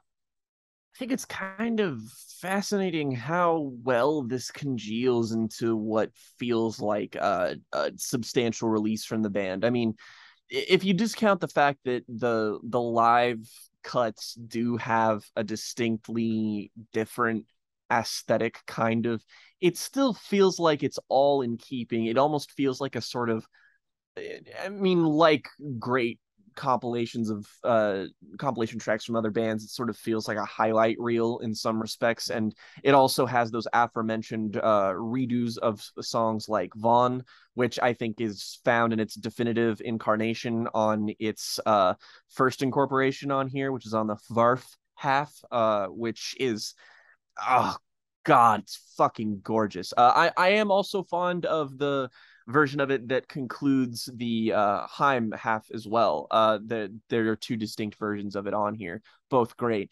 And I think this gets a lot of mileage out of just being a solid release that has no real identifiable weak points for me. I just think mm-hmm. every song here is really, really solid stuff that elaborates on ideas that aren't new for the band, but still feel like they're giving you everything that you love about Sigur Rós. Uh, mm-hmm. I'll say that maybe my favorite cut on here is the second track. Uh, yeah. Not even gonna begin to try and pronounce that one. Hlo Hljómalind, uh, which was which was formerly known as Rokklagið, the rock song.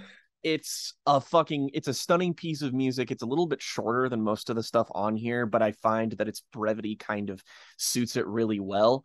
And I, I think that it's kind of like awesome that the the live recordings are as high quality as they are because while they are more stripped back it's difficult to tell that they are in fact live recordings just because this band's full sound just sort of suits a live sound really well. So you know only people with keen ears will even be able to tell that that's the case. There's no like shift that you have to make. Like i can't necessarily like listen to this as like uh, one distinct half over the other because I've listened to this a fair bit and I, I, I feel like it's a complete package uh as a whole. It's not the, a you know it's not a definitive statement like the other albums are just because it is a little bit more scattershot from their career up until this point and I think there's enough variation in each record so that you know it taking from multiple records is a bit like mildly disorienting once you're familiar with the other versions of these songs.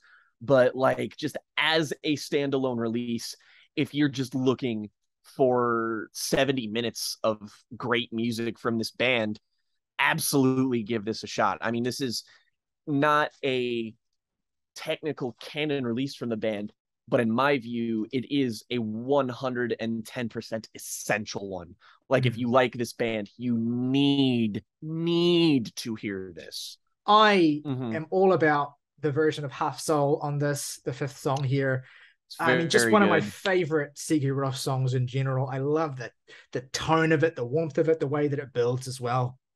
I just I I I I've really this is really warm to me this EP uh the more that I've listened to it. And the rock song the second track here particularly as well this was actually released as a single. And I think it is one of the band's like best examples of again how good they are at crafting like quite conventionally structured and friendly music that you could see potentially in a warped alternate dimension quite making it onto the you know mainstream radio almost. It's very accessible. It's a very good and uh, catchy song.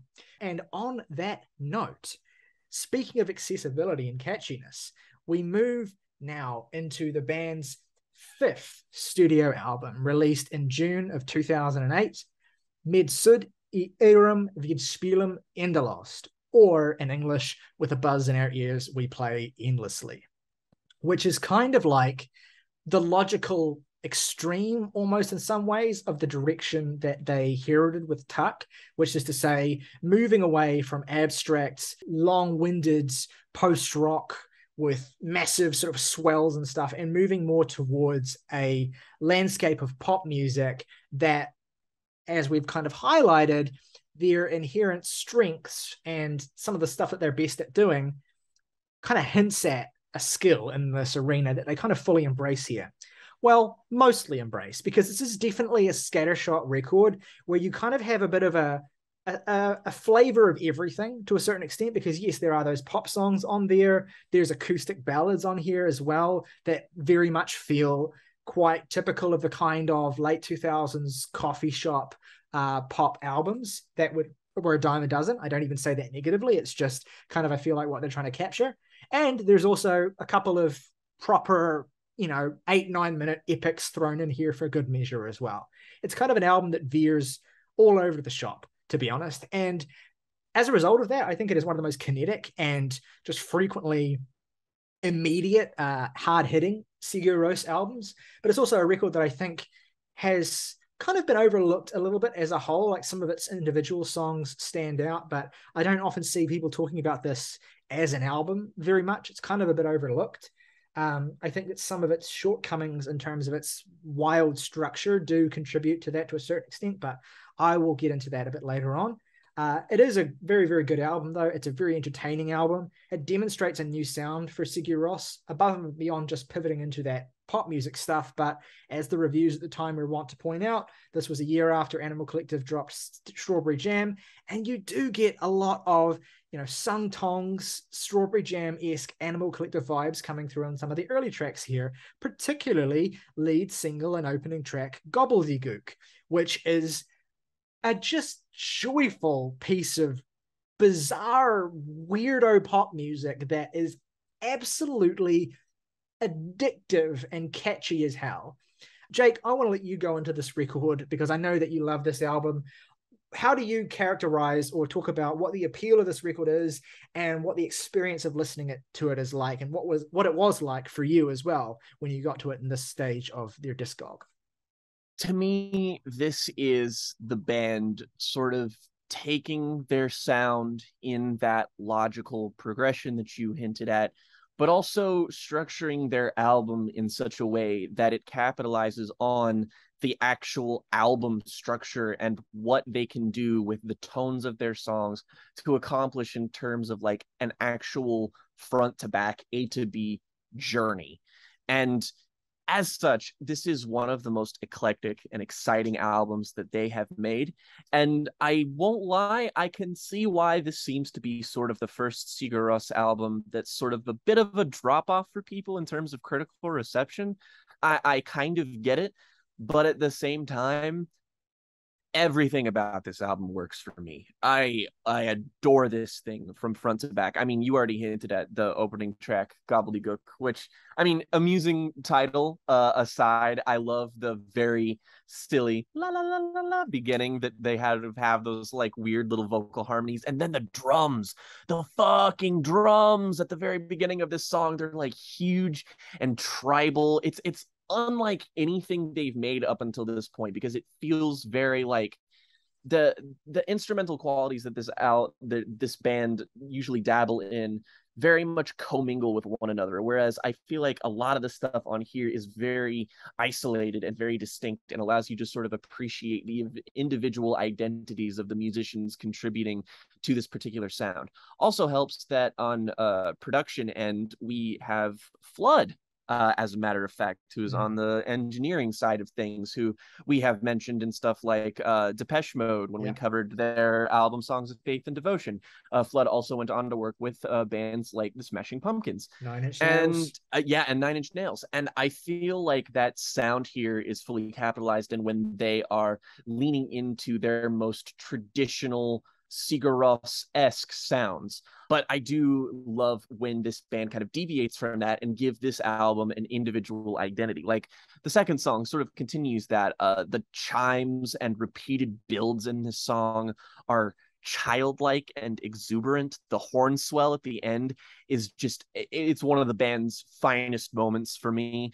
Uh, I love the song after that as well. It just sort of gently begins and eventually moves into this chilly, ethereal place that the song just kind of gestates in. It doesn't really progress from there, but it just sort of lets you melt into it.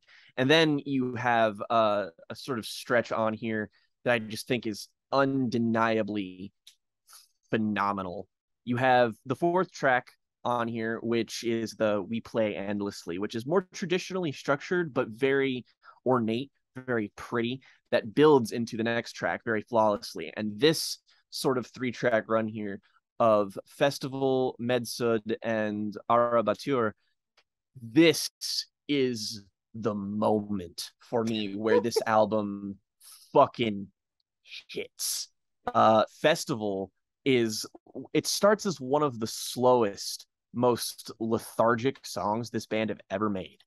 And then gradually introduces idea after idea instrumentally until a steady drum beat becomes lightning fast in its final moments, where this bright instrumental explosion just radiates with that kind of unbridled youth and leaves me absolutely fucking stunned. And then you sort of have what I would deem the interstitial moment of this sort of middle stretch here, which is Með suð. I love this song, song so much. So underrated. Just gorgeous. Yes. It's got this beautiful, steady piano melody that just carries you through the start, and the piano arpeggiations in the center are just fucking wonderful. And it has like a false climax at the end, but then it serves to sort of segue into uh, what I think is my favorite song on here, which is uh, Ára bátur, which is translates to rowboat. And something about the plainness of Jónsi's vocals at the start here, they're really unadorned. They really get me in combination with the piano. This reminds me a lot of this is a, another Jake Core filmic reference here is that this song specifically and this album in general. Um, if you are familiar with the films of Makoto Shinkai, you know the Japanese uh, sort of pop punk band Radwimps. Um, this is literally just sounds like one of their songs. Like Jónsi even sounds like the lead vocalist of that band. It's genuinely quite uncanny.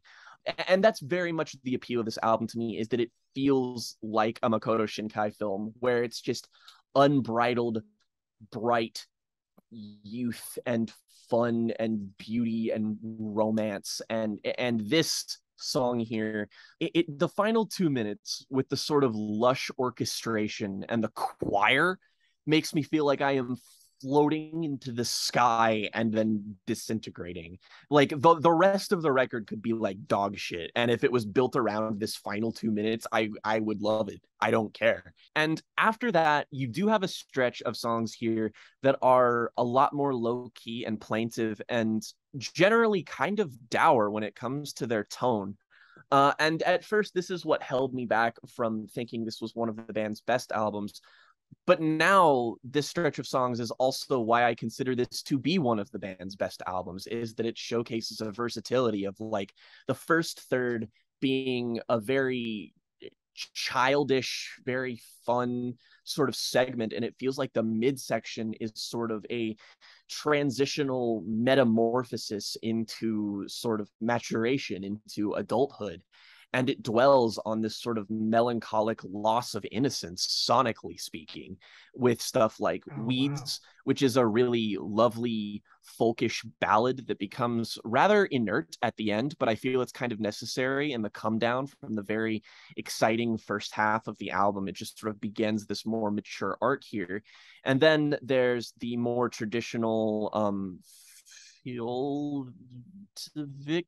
I I don't Close even. enough. Close enough. Uh, uh, it, it's more traditional feeling, but it still holds on to a sort of like reminiscence that the first half has. That's mm. stilted in its progression, but nonetheless absolutely beautiful. And then there's uh Straumnes, uh, which is brief, but it's this minimal haunting ambience that I really appreciate and lets you dwell on the inevitable darkness of the future and of faded youth. And then it goes beautifully into All All Right, which is the record feeling as though it's sort of making peace with itself. It's like a mm-hmm. slow, steady exhale that feels minimal and melancholic, but completes a really satisfying arc and it leads to this complete experience of this journey of this album to me, which is their shortest album thus far, even though it is 55 minutes long. but still feels like one of their most complete journeys as like a narrative arc and it leads me to coming back to this over and over again just because of the raw versatility at play here i Mm-hmm. i think this is a, a deeply deeply underappreciated record You know what, Jake? I think you might have even like turned me on this a little bit more just by talk by what you've just said because I've never thought about it structurally like that. In in terms of thirds, where you do start with the very ineffable and like incredibly over the top kind of exuberance of youth. And again, it can't be impressed enough how much that first song sounds like uh, Sung Tongs era, Animal Mhm. Collective especially, which I don't use to kind of as a reductive comparison. I know it's overdone, but I, I say that in the most complimentary way possible. And also the I second the second track, which is actually my favorite song on this album, uh, just the best pop song I think they've ever so done. good Uh, a so gloriously gorgeous thing. Like this, the, the second half of this second track, when it just kind of becomes this chanting refrain, legitimately, like within me, a lunatic sings is a great uh, title for it, which is the English translation, God. because that's exactly how I feel. Um, I mean, I mean- hell, that sounds like Avey Tare lyrics. Like the Animal Collective comparison here, I feel like is equally as strong. Yeah, and then you have um uh Góðan daginn, which I actually think is the most underrated song here. I love Yes. the tone and the warmth of this track so much. It's gorgeous. Again, it's that same sort of like gentle acoustic based song as the title track on Ágætis byrjun. It has the same sort of feeling to it. Um, and it's I love that it is allowed to stretch out for five minutes. I never get bored of it. Um, and then the run through um, Wir in Festival, Með suð í eyrum, and Arabatura is just like it's par excellence. I've kind of uh, come around a little bit on Arabatura. I used to kind of feel like it was a little bit too ostentatious for even my tastes, but I don't know. I think as I've gotten a little bit older, I've started I've started to just kind of uh, embrace that ostentatiousness. It certainly fits a band like this, especially having like a you have a 90 piece orchestra slash choir on this song. 90 people are playing on this song at the conclusion of it. It's so much that i almost feel like uh the mix can barely handle it all as as hard as flood tries but it is a beautiful song and Jónsi's vocal melodies particularly early on are astounding. Um Með suð í eyrum, the sixth track is, as I said, I think another underrated song. I I love one of my favorite sonic tricks that uh, I guess we have to credit Flood for, but also the band as well because they co-produced, is that this song has two drum lines, one of which is being played forward, and the other which is being played in reverse and kind of like lowered Oh, under the mix. So you have these two simultaneous drum sounds that are happening, and they are like completely at odds with each other, and they just create this swirling, disorienting feel and that's it's just being anchored by that piano line and Jónsi's melody, uh, vocal melody, and then that last minute of the song where that kind of all just fades away, and you just get that last burst of rhythm is so. uh, It's one of the most singular moments in this whole discography. I really love it. I'm not as hot on the last four songs still, but I think that what you said about approaching the record in three thirds of youth, of maturation, and then of kind of like a a coming to terms with aging sort of thing, or uh, coming to terms with this older state that you now exist in.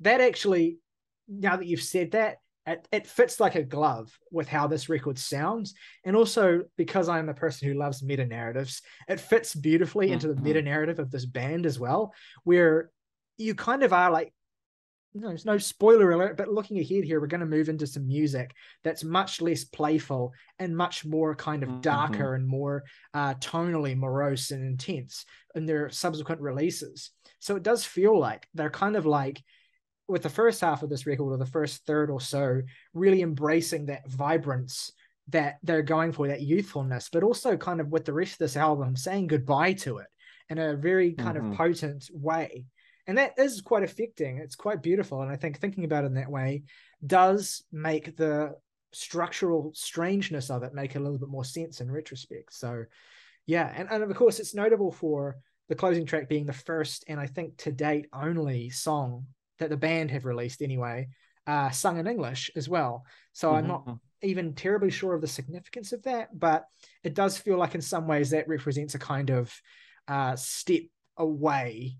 I don't want to say a step forward or a maturation because that would be kind of a bit condescending towards the Icelandic mm-hmm. language, but it represents some kind of change uh, or some kind of, I guess, forthrightness, some kind of stripping away of you know the ethereal artifice of the you know wordless, meaningless vocals to just directly address you know the vast majority of the band's audience who are admittedly going to be english speakers and just to kind of be a bit more candid than maybe Jónsi has ever been before and i don't love it as a song i think it's good but that aspect of it does i think lend a, an additional level of poignance i'll say mm-hmm. so yeah a, a, really really special album a great album I'll, i will say that i will go that far and one I think that yeah, I I am going to hear slightly differently from now on, thinking about what you've said, Jake. Uh, it is a really, really, really awesome. beautiful album. It deserves more love, more attention.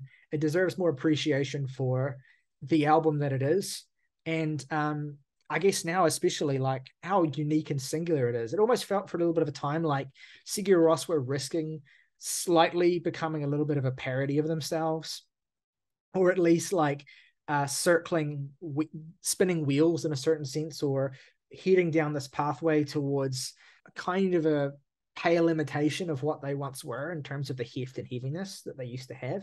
But I feel like in the context now, appreciating this as the part of the discography that it is, with a lot of distance from it, it is easier to appreciate and um, I think easier to treasure as well because it is really the only album quite like it in this discography.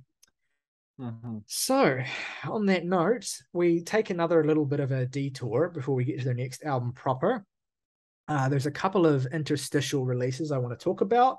Uh, first of all, I don't know whether or not you had a chance to listen to this, Jake, but don't fret if you didn't. I just want to shout it out in the interim. Uh, in 2009, Jónsi put out a solo record with his partner Alex Somers called Riceboy Sleeps. Uh, it is an, a straightforward ambient drone album. Through and through, it is over an hour of just straight ambience. And if you approach it with that framework, I think it is an absolutely gorgeous experience. A lot of people, I think, have I, this record has some really negative, got some really negative reviews and really kind of like harsh responses, I guess, for being like plodding and boring and samey and stuff. And look, I get it, but it's an ambient album. like it is, mm. it's an ambient record. It's not a record with you know songs on it in any conventional sense. But the textures are gorgeous, especially tracks like Happiness, Indian Summer, Boy 1904. Uh, a really really special release. And if hearing a little bit more of the ambient side appeals to you as a concept, I have to recommend this wholeheartedly yeah i want to get to this uh, a lot just because i feel like sometimes when this band leans into their more ambient leanings they are at their most compelling so this is mm. certainly high on my priority list yeah i mean it is to be clear a solo record with, with Jónsi mm. and in collaboration with his partner alex but uh, still has a lot of the same aesthetic qualities of Sigur Rós, just very, very much peered down into this minimalist landscape. But something that doesn't have a minimalist landscape and something that works yeah. as a complement to Með suð í eyrum beautifully, I think, is Jónsi's first solo studio album proper, which is 2010's Go. Uh, this is a record that I I remember listening to when I was, you know, in my biggest Sigur Rós phase, thinking, yeah, this is pretty, pretty cool. I never really had a huge attachment to it. Um, but courtesy of friend of the podcast, friend of ours, Connor, who I think considers this one of his favorite albums of all time. I've gone back to this record every now and then, and I felt it grow on me more and more and more. Uh, I think particularly as I've come to appreciate Með suð í eyrum more and more, I think I've also come to appreciate this more and more and more. Uh, this is one of the most explosive and joyful and colorful releases that you'll find in the entire oeuvre of Sigur Rós more broadly. Even though we're talking about the band and not solo material as much, I still wanted to have a mini segment on this because I think this is a great album. Uh, notably, as well, though it doesn't feature any of the other members of Sigur Rós, it does feature uh, arrangements and instrumentation from the great Nico Muhly, who is one of the great contemporary classical composers and contributors to a lot of more adventurous indie rock music has been involved with a number of artists that you and I love, like Sufjan Stevens, for instance. And he is here helping out with the uh, arrangements, string arrangements, and some of the compositions as well. And this is completely addictively kinetic and joyful record. It is absolutely infectious. There's more English singing on this record as well, more leaning into that mm-hmm. kind of playful, joyful sort of uh, ridiculous fun of some of that early stuff on Með suð. But of course, it being a solo record, it feels distinct from that band narrative that we've been building on. Um, but yeah, Jake, what did you think of this record when you gave it a listen earlier? I can really only co sign all of the good things about this. It sort of feels like we are about to take a bit of a tonal turn into uh, something quite different in the discography. And it almost feels like Jónsi was like, he just had more creative fun energy and just needed to get it out of his system. And then as a result, this record was formed. And thus, if you found yourself at a bit of a distance with Með suð, I mean, uh, like uh, Ryley kind of was about like, if you haven't quite embraced the whole narrative of that, or if you just like the a little bit more kinetic first half more, you're going to like this album. It is a bit more maximal and just like it is more bright and more colorful and more dreamy and chamber poppy and thus is a bit more immediately satisfying to listen to. And as a result i feel like it sort of earns its own identity within the sigur rós canon of even though it is sort of its own individual thing it's it, it sort of needs to exist because otherwise i feel like there would be a distinct niche of this discography that went unfilled of sort of just like I I wish, you know, for as much as I love Með suð and do even prefer it to this album, I still would in theory want an album like this to exist purely to see how they would pull it off and mm. they do. Uh, yeah. It's consistent from front to back, really, though I do think the album doesn't get much better than the uh, one two punch of Go Do an Animal Arithmetic. Uh, those two songs are fucking amazing, though I do think it is bookended well with also Grow Till Tall, which is just one of the best vocal hooks, just goddamn ever. And it's just so sublime. and I, I think the the um, ending track too is just as stellar as well. Mm. Um, and, and, yeah, I, I think that this is a fun. It's a little bit tighter of a record too. It's only 40 minutes. So if you want that, but concentrated into a more sort of potent uh, instrumental form, I think you'll also have fun here. If we're going along with the sort of animal collective analogy, I think this is easily seen as the person pitch uh, of this particular discography, of it being like it's a side project, but it is no less essential than anything here, uh, and and deeply underrated in general too. This is something that just deserves so much more love than it's gotten. Yeah, I absolutely agree. Um, I like the person pitch comp as well. No, this is a fun, fantastic album from front to back. Uh, I'll second like the three songs you've shouted out specifically by name are my three favorites as well. I do love Boy Lily Lilikoi as well, Sinking Friendships, mm. and the closing track. Brilliant, brilliant stuff. Uh, there's really not anything that is discernibly weak on this record. It's a very tight nine tracks, 40 minutes. It's a really great punch of fantastic music that never lets you down the climax of Grow Till Tall, the way that song just kind of like just builds and builds and builds and builds until it can barely fucking hold itself together. Um, shout out, by the way, producer Man. on this record, Peter Katis, the indie legend the behind boy. the boards, alongside uh, Jónsi and Alex, also with production credits too. Stunning, stunning, stunning, stunning. And do not overlook this when you're getting into Sigur Rós. Mm-hmm. That goes particularly to all my all of our friends out there who might be planning on getting into Sigur Rós and watching this video. Uh, don't miss this album. It's also worth noting as well uh, that Jónsi the very next year would go on to do the score for the Cameron Crowe film We Bought a Zoo. Uh, just a fun little wrinkle in the narrative of his career uh, and I guess maybe so, somewhat repaying the favor for Vanilla Sky. But in 2012, we finally get, after a four year wait, the longest wait between Sigur Rós albums, we get the album Valtari, the sixth stu- studio album from Sigur Rós. Now I can already tell this segment is going to be a long one. I know Jake, you have a lot to say, so I won't get very much into the content of the album, but I will talk a lot about the context of it because this was the first Sigur Rós album that I was cognizantly following and experiencing the rollout for. And this album had quite the rollout a much more extra and multimedia rollout than you might suspect for the sound of this record, which is, to be clear, much more stripped back and modest than the bombastic sounds of their previous two records. Uh, this is the definition of the understated follow up to the ostentatious, you know, pop masterpiece, I suppose. Uh, it is a record that was, you know, it's of course destined to be overlooked uh, to some extent because of its modest approach from a band that are known and beloved for intensity and loudness. There's really only one moment on this record that does what you would expect from a Sigur Rós song, conventionally speaking.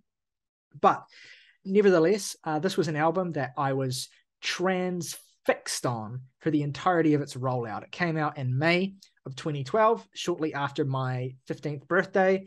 I remember specifically buying this. Uh, it was one of the very few CDs that I was at the time able to buy with my own money. Uh, I bought this very, like, basically, I'm pretty sure it was the day it came out. I still have the CD actually. I'll go and get it in a minute while you're talking. But um, this album was my obsession for months. Like 2012, this was there was not a single album in 2012 I listened to more than this. This was my favorite Sigur Rós album for a long time. Uh, it still is an album that I have an incredibly strong attachment to. A lot of it was time and place, you know, being there, experiencing that rollout as well, just being at a particularly emo stage of my life as well. Think you can imagine 15 year old me. I was you know, in re- getting into relationships, and I was going through all this kind of like incredibly intense pubescent shit that was happening at that time, and so I was looking for music to kind of just feel feels to, more or less. Uh, and this was just like one of those things I fixated on. But in terms of its rollout, what's really interesting about the rollout for this record obviously influenced by Jónsi's work on projects like uh, Riceboy Sleeps as well, exploring that more ambient textural side of his musical skills and, and taking that to the full band as well. Uh, also worth noting too that uh, something we've slightly glanced over, which is the band released their first proper live album in 2011, Inni. Great album, by the way. Yep. Also, a record that ends with a song that at the time, I can't remember, it had a different title, uh, completely instrumental song that uh, ended up being repurposed and features on this record in essentially the same form as the, I think it's the sixth track, Varðeldur. But anyway, we were getting teasers and hints that the next Sigur Rós album would be a step backwards, a more uh, reflective tone. Uh, that was described by Georg Holm as having more of an electronic tinge than a dance tinge, and he describes it beautifully in a way that has always stuck with me as an avalanche in slow motion, which is like emotionally a lot of what this does feel like. Uh, yes, people think of it and they think of its sparseness, but actually, texturally, it's a dense album with a lot happening in a lot of its moments and a few moments that are more sparse to give you that breathing room. But anyway, what I want to talk about in terms of the release of this album, the most, the thing that most I, I most fondly remember is something called the Valtari Mystery Film Experiment, where what Sigur did is they gave a dozen filmmakers a certain budget. I can't remember how much it was. And they said, We want you to make a music video for any song on this record that you want. And we want you to make that music video based on whatever comes into your head when you listen to the song, whatever the song makes you feel, whatever the song makes you picture. Uh, they, I think, also had this competition where where uh, amateur filmmakers could um, submit their own videos, and um, they would pick the one they liked the most as the kind of like winner, in addition to the ones that were specifically commissioned from filmmakers such as Alma Har'el, John Cameron Mitchell, Ryan McGinley, Ramin Bahrani. Uh, and so you had, in my memory, there were definitely more than a dozen. I remember heaps of videos. Uh, many songs had multiple different videos, and they're all very distinct and all very affecting and all very emotional. And some were better than others. Some were a little bit more pretentious. Some were just heartbreaking. Uh, they were all over the shop. And I remember this visual accompaniment. I, I just because I listened to these songs so much, and I am I am imbued and imbibed this record so much that it was such a fixture of my life for so long. It was just on the precipice of me like fully diving into so much music that I would, you know, be always listening to something different. So would, my fixations wouldn't really last super long after this. But this was a months long fixation. I was obsessed with this album. And I love how extra and vibrant and visual the rollout was for it because it really encouraged you. And if I were to sum it up, Sigur Rós really encouraged you to project onto this music. I think more than anything they've ever done before. Even the Untitled record with its famously gibberish lyrics, which definitely invites some level of projection, but this even more so because it has such varied texture and emotional tone. When you listen to this, when I listen to this, stories play in my head, images play in my head, colors. It's a very synesthetic album for me. It is incredibly emotional, incredibly powerful for how much it holds back from what you would expect Sigur Rós typically to do, from how much it lets you immerse yourself in these beautiful, rich textures. Again, each member of the band feeling distinct and integral to each of these compositions. Jake, what does this album mean to you? Uh, how, we, at what point in your run through this Sigur Rós deep dive did you discover it? And what was that experience like? And what are your overall feelings on it now? Well, if you watch the podcast proper, uh, you will be very unsurprised to learn what I am about to expel. The best and most concise way, however, I can put my feelings towards this record Boom. The boy. The boy. Yeah, so this was the second Sigur Rós album I listened to after uh, I listened to their final record first, purely by chance. Uh, and in a lot of ways, it's really interesting just how strange of a pivot it was uh, to go from Kveikur to this immediately afterwards because I had no context for Sigur Rós or what they were. And these two albums are just at the polar extremes of what their sound even is. I, I, I didn't know what that direction was going to be like. I didn't have any like preordained knowledge or thoughts or whatever. I went into it totally blind, which is probably in many respects the best way to go into it. And like Ryley alluded to, this is something that it really does sort of harken back to an earlier stage of this band, uh, a little bit more like brackets, I think. But it's one of my favorite kind of albums that a band release where they sort of take what originally was so alluring about them and capitalize on that principle while adding to it all of the interesting things and the ways that they've grown since and their other dis- and their other sort of digressions in their discography. This is an album that could only be made towards the end of Sigur Rós's career just because of how much is here and how interesting it all is and how i mean it is very experiential and synesthetic in that respect like Ryley said. It's sort of like th- this is some of my favorite kind of music to listen to where you sort of project yourself into it and it becomes a very personal experience. But it's also very likely to you know miss the mark with some people just because something about the sound of a given record might not gel with you on that level and it, and it becomes very deeply personal in ways you can't really properly quantify and in that respect i guess that's why this is seen as Sigur Rós's worst or just like least loved album is that it feels like you know initially it does what other records in this discography do um and it is also very I won't say formless, but it does kind of feel that way. Uh, and I understand that. That said, this album is the reason that I listen to music. This is like when I watched all that jazz in film class a couple years ago when I was in college and I left and I was like, that's why I watch movies. The second I got done hearing this album, I was like, that's why I listen to music. And it's easy to see why, considering it begins with the one two punch of uh, the opening track, Ég anda, uh, which translates to I breathe. Uh, the distant vocals at the very beginning of this song convey the idea of sound within a vast space because you hear vocals and they're sort of echoing and reverberating like they would in a really like large empty building.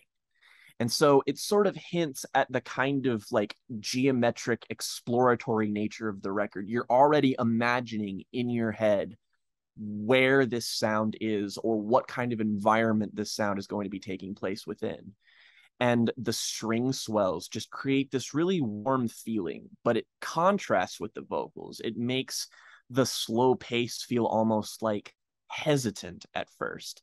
It doesn't even really feel like sigur rós. It really does feel ambient uh, until that sort of final third where it feels as though you've unearthed something magical and long undiscovered. It reminds me of both the feeling that I get and the actual sound of the compositions and work of Joe Hisaishi, who, if you know who he is, he is the composer for the scores of basically every Studio Ghibli movie. Uh, most notably, in comparisons, I would say to Princess Mononoke and my favorite Studio Ghibli film, uh, other than Kiki's Delivery Service, uh, Castle in the Sky, which I think that sort of raw distillation of adventure and wonder is very well replicated here. Um, or even uh, the composer Kevin Penkin's work uh, made for the series Made in Abyss, which is also very uh, Ghibli evocative and is very focused around the idea of the natural and industrial world and exploring the beauty and horror of it. And it, it makes it feel really really well realized and really really stark but it also is very impressionistic.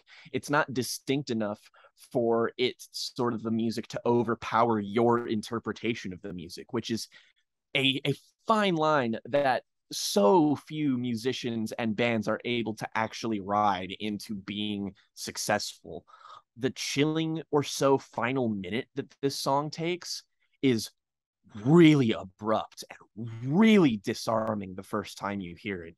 It it hints at this slow brewing lingering darkness that feels really mortifying at the moment like there's just something at the core here that is this dangerous and scary it's sort of that tonal versatility that was uh displayed on Með suð all in one track here where you have exploration wonder awe but also the sort of lingering darkness of the future there. Uh, and, and, it's really primal and scary. Like you haven't heard anything this guttural and frightening since like Von, and that was really like guttural and frightening because it was kind of lo-fi and strange. And then you have not a sound, the second song on here, uh, aka Ekki múkk. This is my favorite Sigur Rós song. This is the best song I have heard all year. This is one of the 10 most beautiful pieces of music I have ever heard. It lingers in the strange, otherworldly darkness that the last track left uh, left off on, but it gradually leads you what leads or what feels like you are walking into like a pool of warm light and then you just bathe in it there's these tense strings and this really soft bed of sounds that this album has which is just like when it just comes to the raw textural nature of this album this is just the best collection of raw sounds that like anyone has ever assembled ever. It really reminds me actually of weirdly enough the album In the Attic of the Universe by the Antlers. Um we talked about this band last mm. year uh, and I went through my very, very personal sort of journey with In the Attic of the Universe, one of my favorite albums. And it is very, very similar of an experience to this. It's very much elongated and it feels far more earthly. Uh, whereas in the attic of the universe feels a bit more cosmic but they both have these kind of earthy tones that hint at something almost mythical in nature. And it sort of has this like steady instrumental progression that's subtle and it lets you linger in all of its really minimal but still very distinct movements until it's almost shocking rise at the halfway point with Jónsi's vocals. And the second half that feels like you're being carried away from that light that you were drawn towards and and it's like you're just drifting further and further from it and you're just yearning to go back to it and it is it is immense and it is the best piece of music this band have ever made. And from there, that's the thing is that the journey this album takes you on, it just doesn't let up for me. Every single one of these songs feels like its own world. It, it feels like the way you described uh, Tangerine Dream's album Zeit, in that it feels like it is building an environment more than it is building a song. And that sounds like kind of weird and pretentious, but you listen to this and that synesthetic quality really is at the forefront here. You imagine yourself within them. That's sort of those narratives that Ryley said, you know, you project from this music. It's so like it, it's it just clicks in my brain instantly and I'm just instantly transported to places that my imagination can scarcely take me unprovoked.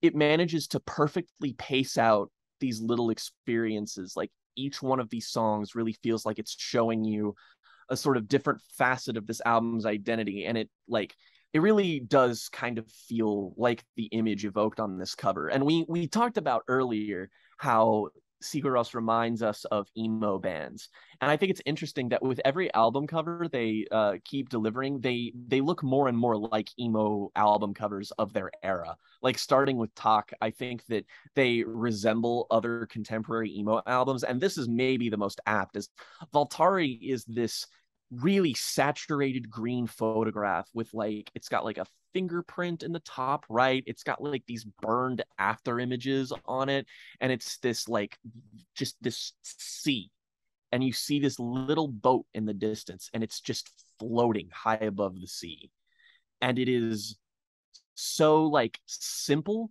but it's also just like you feel like you're in that boat as it's rising above the sea and you're just like walking around this empty ship and experiencing this environment. And what's cool about it is that it showcases the versatility of this band and that like it keeps coming back to that darkness that the band have hinted at before, but have never like fully explored in my opinion, but it keeps that sort of tonal balance perfectly into an experience that feels really cinematic and really like this to me feels like the most holistic Sigur Rós album because it gives you the most variety in and of itself. And it overall just ends up being a, a fucking magical experience. This is I, I cannot get this album or these songs like i can't get a similar experience from anything even other sigur rós albums there is simply nothing i have ever heard that sounds like Valtari and it's nothing that's as quiet and intimate and beautiful and soft and loving or as big or as grand as this album can sometimes sound. The the title of it translates to steamroller which is so apt just because when this album chooses to be thick, heavy, and atmospheric, you feel like you're tr- you feel like you're Atlas carrying the world on his back.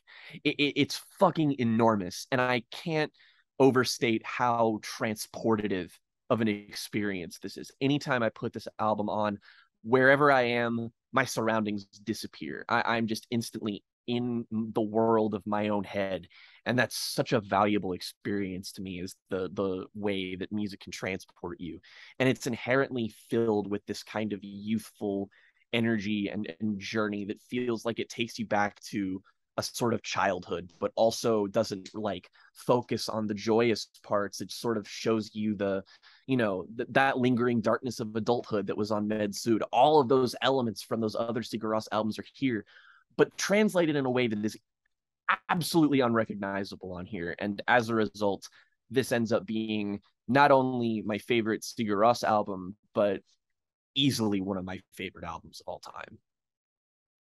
Yeah, I mean, the experience you're describing is basically the same experience I had with it when I was 15 years old. And it still has a holds a really special place in my heart for all of those reasons. there's like a moment on this album. So for starters, Ekki múkk, my uh, the second track here, my favorite on the album as well.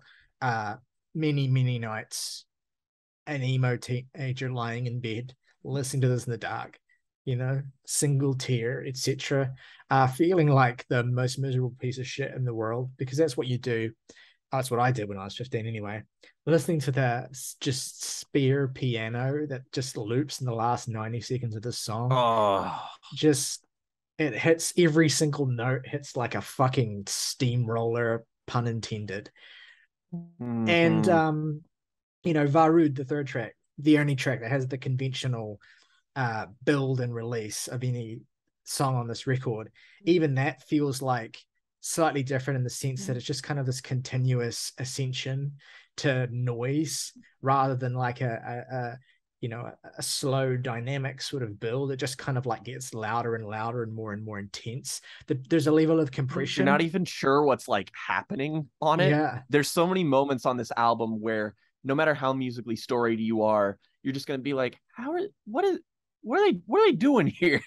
Because i don't there, know. there's like a level of compression in the production and particularly on the drums there that like makes it feel like this doesn't belong here and it's going to rip the whole thing apart and i love that sense of danger that it has a song that i really love is the sort of centerpiece of this record uh Dauðalogn or Dead Calm uh what a genuinely yeah. just soulfully beautiful piece of music it sounds like the entire planet sort of singing in harmony but it sounds way less cheesy and corny than mm-hmm. that makes it sound it's like this gentle sort of tonal lullaby that sounds like a the hum of electricity and the hum of human voices it's so peaceful and calming you know as the title would suggest it is like the one of the warmest and most wholesome songs that this band have ever recorded. I, I, adore it so much. It sounds like, you know, it sounds like the middle of the city in the middle of the night as much as it sounds like the forest. It is yeah. Uh, I also love the title track, which is the most kind of formless piece here as well. It is there's there's like this looping sort of almost like warped glockenspiel melody that sounds like a music box that's really aged and kind of detuned and it sort of like loops and sort of it's sort of suspended in the space of the mix kind of looping while you have all this sort of ambient sound just kind of piling up around it and it's very evocative it's maybe the most purely evocative piece of music here it sounds like it sounds like you know memories fracturing in real time as you try to remember them. It's it's just really something. But I have to emphasize the closing track here, Fjögur Piano or Four Pianos, which is titled as such because the vast majority of the song is constructed from four different piano tracks that were recorded separately and are played overlapped on top of each other. Um, so what you're hearing is not one single piano track, but multiple that are not played or composed to fit with each other or complement each other, but are just kind of improvised separately and then just overlaid. So it is like in a lot of ways the logical extension or endpoint of this record's abstract nature is this just these just lines of piano that are just kind of shoved together essentially. And the band explore this really interesting musical idea which is how these fractured fragmented formless you know fragments of musical ideas interact with each other when they're overlaid the moments where they harmonize the moments where they're just slightly off from each other by a few seconds or by a second or fractions of a second the moments where little counter melodies happen by pure accident because different pieces of these lines of piano happen to line up. It's amazing uh, to think about and to process while you're listening to it. It's it's such a beautiful artistic idea that is so richly rewarding in terms of how it progresses and how you experience it. And you get these stunning like string sounds that come in and they're kind of like they're bowed but they're also like obviously they're bowed they're string sounds but they're like uh they're made to sound like so brittle and kind of high pitched and sort of like vulnerable that they just feel like they have the sense of fractured brokenness to them that the piano has in the way that it kind of just ambles through these different tracks. And it's like the whole thing feels like something incomplete but it never resolves to feel complete and it never falls apart entirely either. It's like listening to something that isn't fully there and just suspending yourself in that state for eight minutes of uncertainty of in between and the whole record i guess kind of feels a little bit like that in between an in between state where you haven't quite arrived at a satisfying home, but you're also neither are you embroiled in the midst of a conflict. You're just in between these states, and it gives the record attention. It gives the record a sense of suspended animation, uh, and maybe it's, it's like being in a liminal state. Yeah, it's difficult to pin it down a lot of the time. I think that's why maybe a lot of people feel a bit distanced from it because of that state it exists in. But it to, to me it resolves beautifully by not resolving at all with that last track mm-hmm. it just kind of ends but without ending um, and i love that i love that about it, it it's so gorgeous and perfect uh, as a way of, of wrapping this whole thing up and yeah it's an amazing album that uh, if you have heard it and don't particularly care for it if you haven't heard it go back and give it a shot. Go and listen to it and see if a fresh pair of it's ears makes a difference. Both the least popular release of theirs and the least acclaimed. And it, I get it on one hand, but on the other hand, I just I feel like if more people listen to this, they like there there is just a chance that you will latch onto this in the way that either of us do and it will become an invaluable experience. I also mm-hmm. do want to mention there are two bonus tracks uh, on this album. Uh, there is calm and branch uh, both of which very good. It is somewhat difficult for me to listen to them outside of i am so in love with the experience of this as a front to back album that it's difficult for me to like listen to them because I'll listen to bonus tracks after an album is done playing.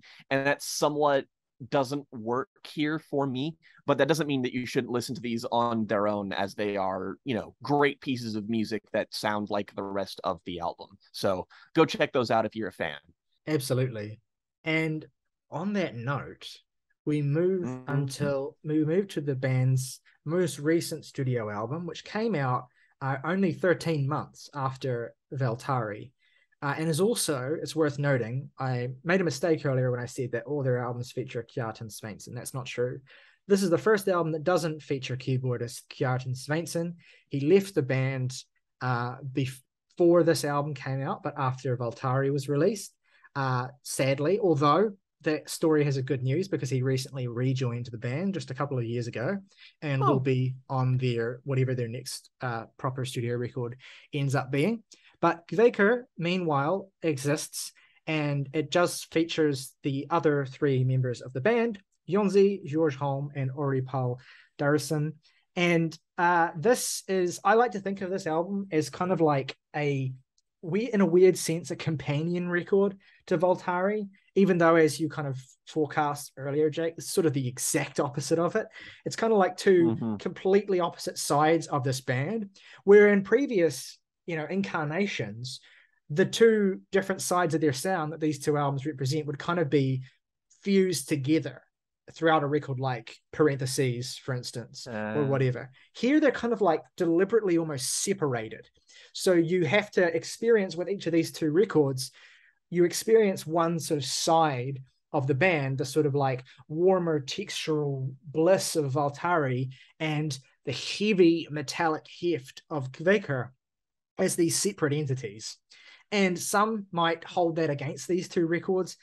Personally i kind of love them both even more for how distinct they are and how like aesthetically uh unique they are from each other. I like the fact that the band kind of decided to do these two very very different albums uh and they have like both have minimal aesthetic album covers but also like vastly different as well the the you know muted warm green tones of this contrasted with the jet black terrifying image on the cover of uh Kveikur. Uh, this album, so obviously I was following the rollout of Valtari, spent my entire year listening to that album. So I was obviously very present for the release of this as well. Uh, this was as big a surprise for me as you can imagine it was for just about any other fan of the band. By far their heaviest release.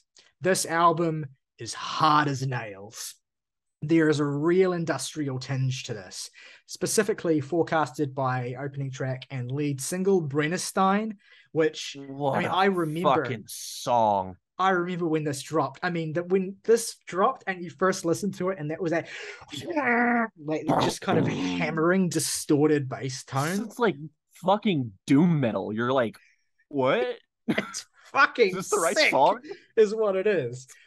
And like again, you have that percussion that you you know we saw this side of Orri more so on uh, the parentheses album, but here it really comes back to the fore. That metallic clashing noise of the drums, the distortion of Georg's bass as well. It's so everything. All three members of this band are making up for the loss of Kjartan by essentially turning up to eleven with everything that they do and making this quite maximalist, but also very compact and tight and pretty fast paced and compacted album. Um, Jake, I think was this the first Sigur Rós album you heard? It was. So, what do you want to talk about? What your, I guess, experience was of throwing this on and being greeted with this, and what you think of this album now, uh, in light of having gone through their whole discography. I mean, even though this was my first Sigur Rós album, I was still nonetheless like gobsmacked by that opener, just because you know Sigur Rós's reputation, so you have an idea of what they might sound like. And then immediately you just get this fucking like, I mean, the opening sounds like the drum hits and just the overall like tone of the very beginning sounds like fucking, I don't know, somewhat damaged by nine inch nails. And you're just like, what? And then you have Jónsi coming in, whose vocals sound like they always have, but they're mixed in a very different way. They're very kind of distant, but they're still very like present in the mix. And he's, you know, singing like he always does. And this contrast of his beautiful, dreamy falsetto and just this band absolutely going bananas on this fucking album. I mean, holy shit. The album's title translates roughly to fuse.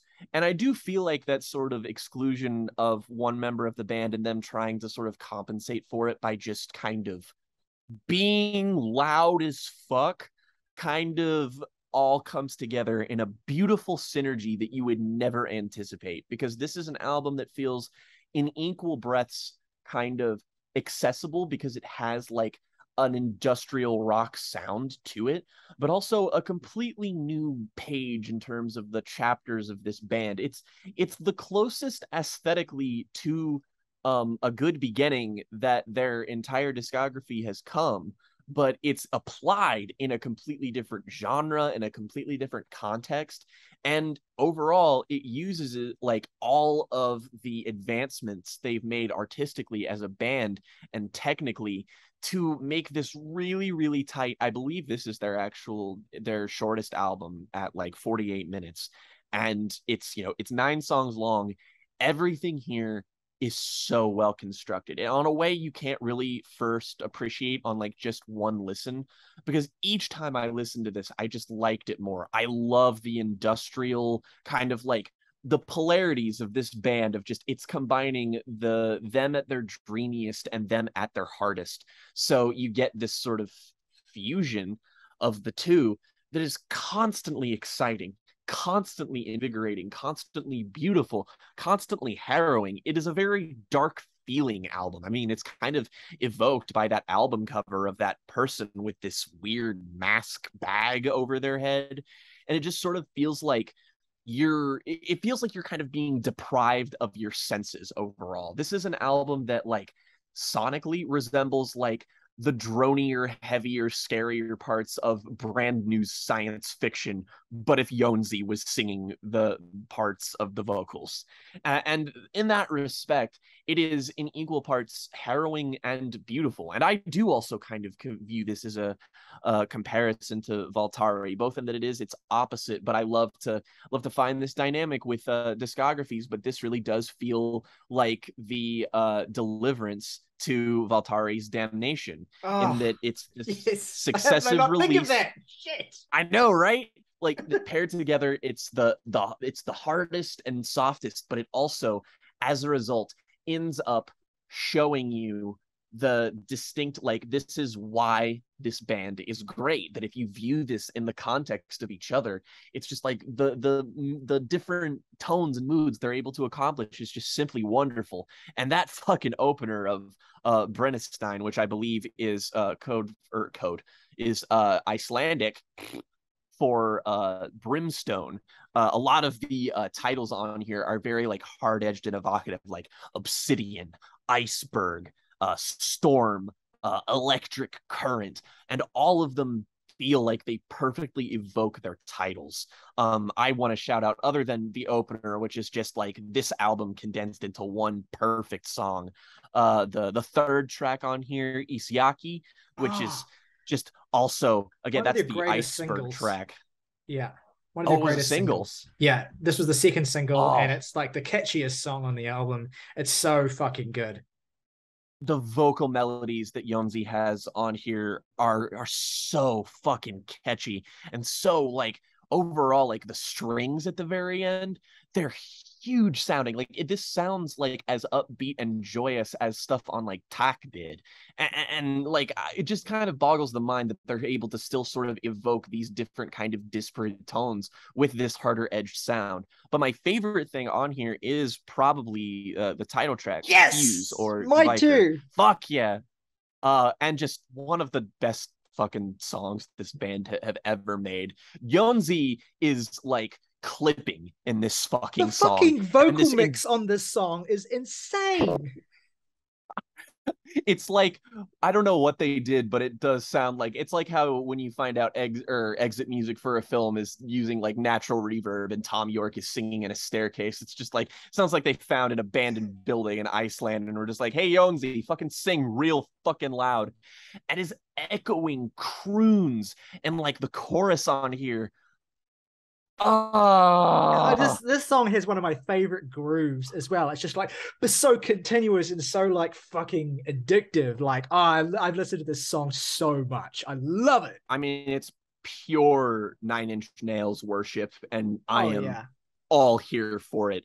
And it just ends up being like an album that's sort of like it feels both the furthest away from where they started and also the closest to it and it really just makes you think like you listen to their first album and their last album and it's like they are both similarly very hard edged very you know industrial adjacent almost lo-fi sounding in parts but the definition that they've given to their sound the refinements they've just they've shaved off everything that didn't work about Von and have refined, channeled, grown everything about this. This is like the ideal. If this ends up being the last Sigur Rós album, I'm more than okay with it because frankly, this is one of my favorite entries in their discography because it is just a quintessential like reminder of how versatile this band is but also this gives me everything I want out of a Sigur Rós album. There's just no identifiable weak point on here. It's mm. fucking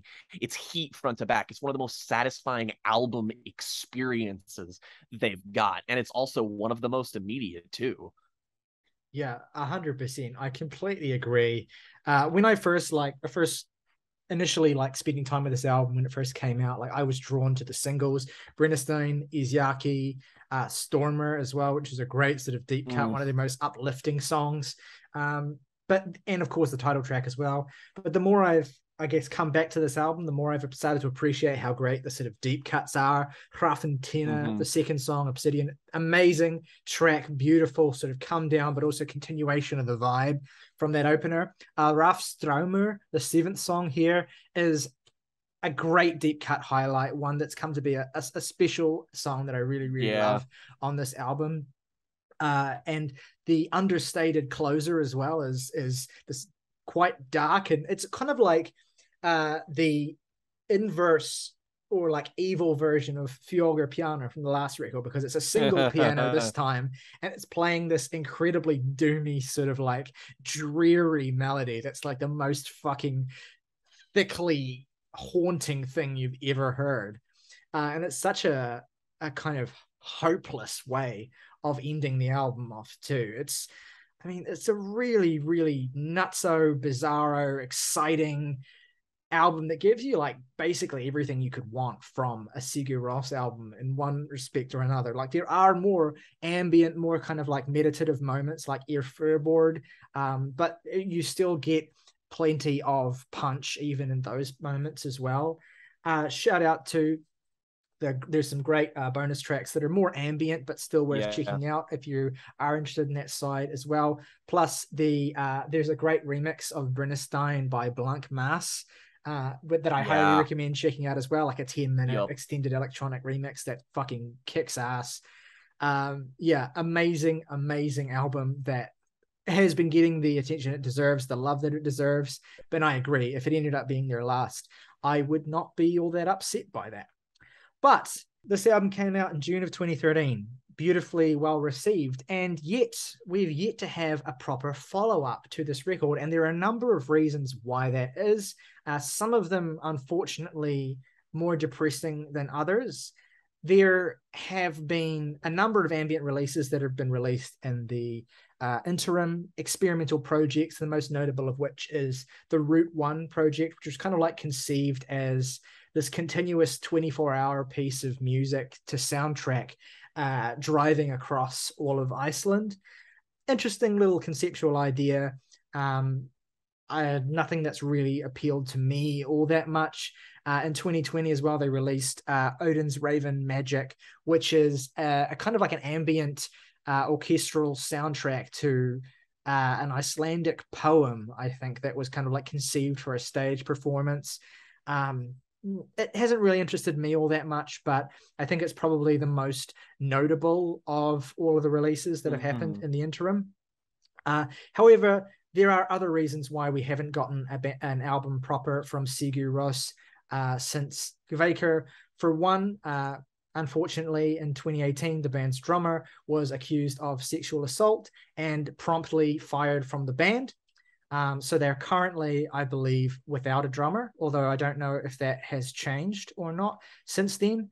Uh, but the, I guess, the bright side to that, unfortunately, dark coin is that Kjartan Sveinsson did rejoin the band in 2020, and they have signaled that they are working on uh, new music and potentially a new album as well. So they the end is definitely not uh, necessarily in sight for Sigur Rós, but one thing is for sure: whatever uh, shape their subsequent music takes may well be a strong departure from everything that we've heard up to this point. The one other little stopgap thing I want to mention in the interim is that in 2016, and I remember this very distinctly, they released a single called Óveður that very much mm. followed in the industrial sound of Kveikur and kind of started to push it into a new direction. It was quite a divisive song. It has this very distinctive uh, and incredibly abrasive snare tone in it that is, mm-hmm. like beyond industrial to like the point of being downright brutal and it is like it matches that with some of the ethereal stuff that we've come to expect from the later era of the band as well it's a curious song i i, I think it's a great song i am saddened that we never got the album that this was i think supposedly meant mm-hmm. to tease it never just quite came to fruition there are different points in which in their career in which they have said that they have started working on a record and then scrapped it because it wasn't coming together they did that with uh what eventually became Valtari as well. I know in 2010, Jónsi said after a Með suð that they were working on a new album and then eventually scrapped it. And the ashes of that project eventually became Valtari. So with all of the, and also another thing that's happened as well is um, the band were accused of tax evasion. Not accused, they were convicted of tax hmm. evasion in 2018 as well. So they've had a uh, objectively the coolest crime you can commit as a band. Just a funny thing for a band like Sigur Rós to end up embroiled in. Uh, so the Icelandic mm-hmm. government mm-hmm. have kind of had it out for them, which has made it kind of difficult for them to uh, do anything substantive. So uh, yeah, it's been a weird sort of period of, of wilderness for Sigur Rós, and they are kind of awaiting a comeback. And we'll see if that arrives. We'll see what shape it takes if it does. But yeah, Jake, any thoughts on um, the interim single Óveður, but and also like where you might see or want Sigur Rós to head next now that they're kind of drummerless and potentially heading in a more uh, ethereal direction? It seems like they were hinting at something that sounded a little bit distinctly more electronic too, just because that like drop at the very end of it feels almost like EDM inspired in some respects. So I don't know. I, I want to see what this would eventually become and seem like, just because this band is constantly reinventing themselves on an album by album basis, and just because there has been so much time in between uh now and Kveikur if we ever do get an album from them, it, I mean, it's just like with every passing year, it just gets harder and harder to nail down what exactly they're going to sound like. Mm. So I mm. think they are, uh, you know, don't discount them just because they're going to come back and they're probably going to come back with something interesting because even though the narrative of this band is sort of like you know they have those legendary albums at the front and then the the reception gets a little bit muted as they go on I, I still think that it's generally accepted that they haven't really dropped a, a disappointing or bad or mediocre release. Mm. Uh, and in my eyes, they certainly haven't. So they they have yet to disappoint me. Mm-hmm. So hopefully they will continue in that stride. But if the narrative ends here, I'm happy it ends here. We have a great discography. Well, one last thing I'll shout out as a stopgap, and I I know you won't have listened to this yet, um, but or either of these releases yet.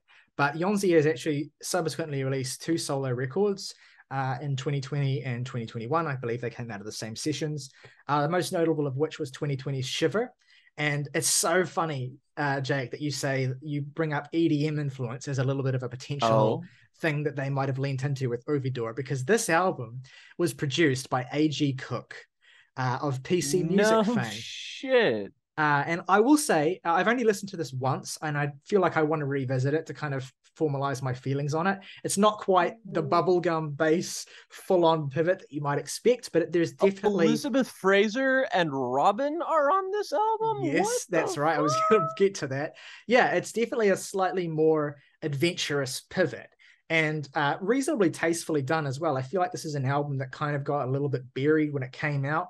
Um, I still need to revisit it to finalize how I feel about it. I was a little bit mixed the first time I heard it, but it could be very much like Go, which I was also mixed on when I first heard it. It could well grow on me. Uh, and I think it's a good signal that Jónsi, at the very least, if not the other members of the band, have lost none of the creative edge that um, you know has sustained them for so long and i still have to check out the second record as well uh, that he put out after this obsidian which is apparently more ambient it's rated more highly on Rate Your Music so maybe it's a bit of a low-key deep cut highlight too although i know nothing about it um, I want to dig deeper into this stuff. I have no doubt and no, there's no hesitance in my mind that the members of Sigur Rós have as much creative possibility in them as they ever have. It's just we've experienced an extended period of time where we've kind of been a bit deprived of that. So we'll see what yeah. happens. Uh, my feeling is because Jónsi put out a solo record in 2020 and 2021 that it's kind of been a little bit of, of a wilderness period where they've the members of Sigur Rós have kind of just been doing their own thing for a bit, and we may see them very much gearing up to release a new album, maybe even next year. There's been some whispers that if they have started recording, we may potentially get a record as soon as 2023. So we'll see what that happens. Obviously, if that does, if slash when that does happen, we will be reviewing it on the Jams and Tea podcast. No mm-hmm. question.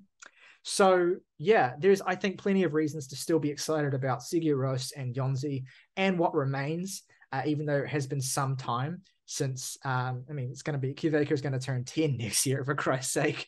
So we'll see what happens. But yeah, that brings us to the present day with Sigur Rós.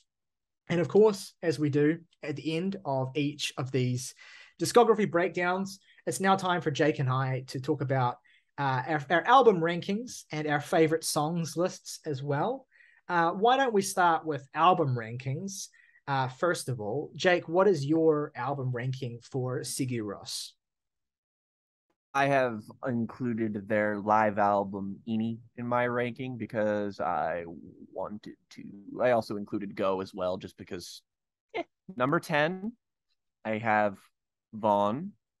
Number nine, I have a good beginning. Number eight, I have Hvarf/Heim. Number seven, I have Go. Number six, I have Thanks. Number five, I have Inni. Number four, Brackets. Number three, Með suð. Number two, Kveikur. And number one, Valtari. Wow, the one and two being like both of those two most recent records is a real like. Obviously, they were the first two you heard, but like still, I love that. I love the energy of that. I, I didn't expect Kveikur to be that high, but overall, I was just like, yeah, damn, God, mm, oof, fuck yeah. My album ranking, uh, I didn't put any on my list, but it is a great album, uh, a great live record, a great document of how they sound in that environment. So definitely gets a recommendation from me. Uh, number nine is von uh, number eight, I'll put Hvarf uh, as an EP. Uh, number seven is Medsud i Erum vid in the Lost. Again, an album I do think is a great record, so it's amazing that it's not higher. Number 6 mm-hmm. Go. Love that album. Number five, Kveikur. Number four, Valtari. Number three, Takk. Number two, Ágætis byrjun, a good beginning. And number one, parentheses, my favorite Sigur Rós album. All right, now our favorite Sigur Rós songs. Now I prepared 20 because I couldn't stop myself, but if you've only got 10, that's fine. I'll let you go first. Number 10, I have Rafstraumur. Number nine, I have Viorar Vel Tilothrasa. Number eight, All Right. Number seven, Brennisteinn. Number six, Ára bátur. Number five, Kveikur. Number four, Varúð. Number three, Glósóli. Number two, Untitled Three. And number one, Ekki múkk. Wow. Uh, that's a, a great top 10 full of unconventional picks. Love it. Uh, my favorite songs, again, I did 20 because I'm extra. Uh, I'm just going to count them all down. Number 20 is Dauðalogn from Valtari. Number 19 is Með suð í eyrum. Number 18 is Brennisteinn. Number 17 is Varúð from Valtari. Number 16 is Untitled Six or E-Bow from parentheses. Number 15 is the title track from Ágætis byrjun. Number 14 is Festival. Number 13 is Fjögur Piano Number 12 is title track from Kveikur. Number 11 is Hafssól, the version from uh, Hvarf. Number 10 is Untitled 4 or Njósnavélin, the Nothing song. Number 9 is Viðrar vel til loftárása. Number eight is Inní mér syngur vitleysingur from Með suð. Number seven is Ekki múkk. Number six is Popplagið Untitled Eight from parentheses. Number five is Gong. Number four is Sæglópur from Takk.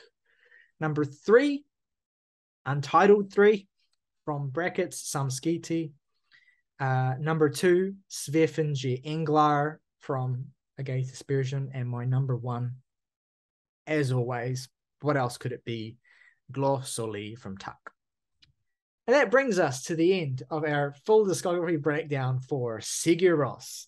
Let us know at home what you think of this band, what this band means to you how you would rank their records, what standouts exist in this discography, what things you want to give some shine to. If anything, we obviously couldn't mention everything in the extended universe of this band, but we do want to hear what they mean to you and what records you love the most in the comments below. Let us know what you thought of our dissection and our discussion as well. We want to hear your feedback too. That really, really helps us to continue improving and doing this as best as we can we will be back with more videos. We release videos every Sunday, Wednesday, and Friday on this channel. So if you're new to the channel, discovering us through this video, consider subscribing if you want to hear more great music discussion from people who are as passionate as we are.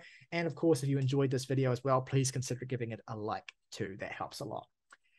If you want to go above and beyond and support us even further, become one of the members of the Jams and Tea family, you can hit the join button for just $1 a month. Support us directly, get your name in the title crawl of every video on this channel. Plus, if you want to recommend us music to listen to and talk about, your recommendation will go to the top of the pile.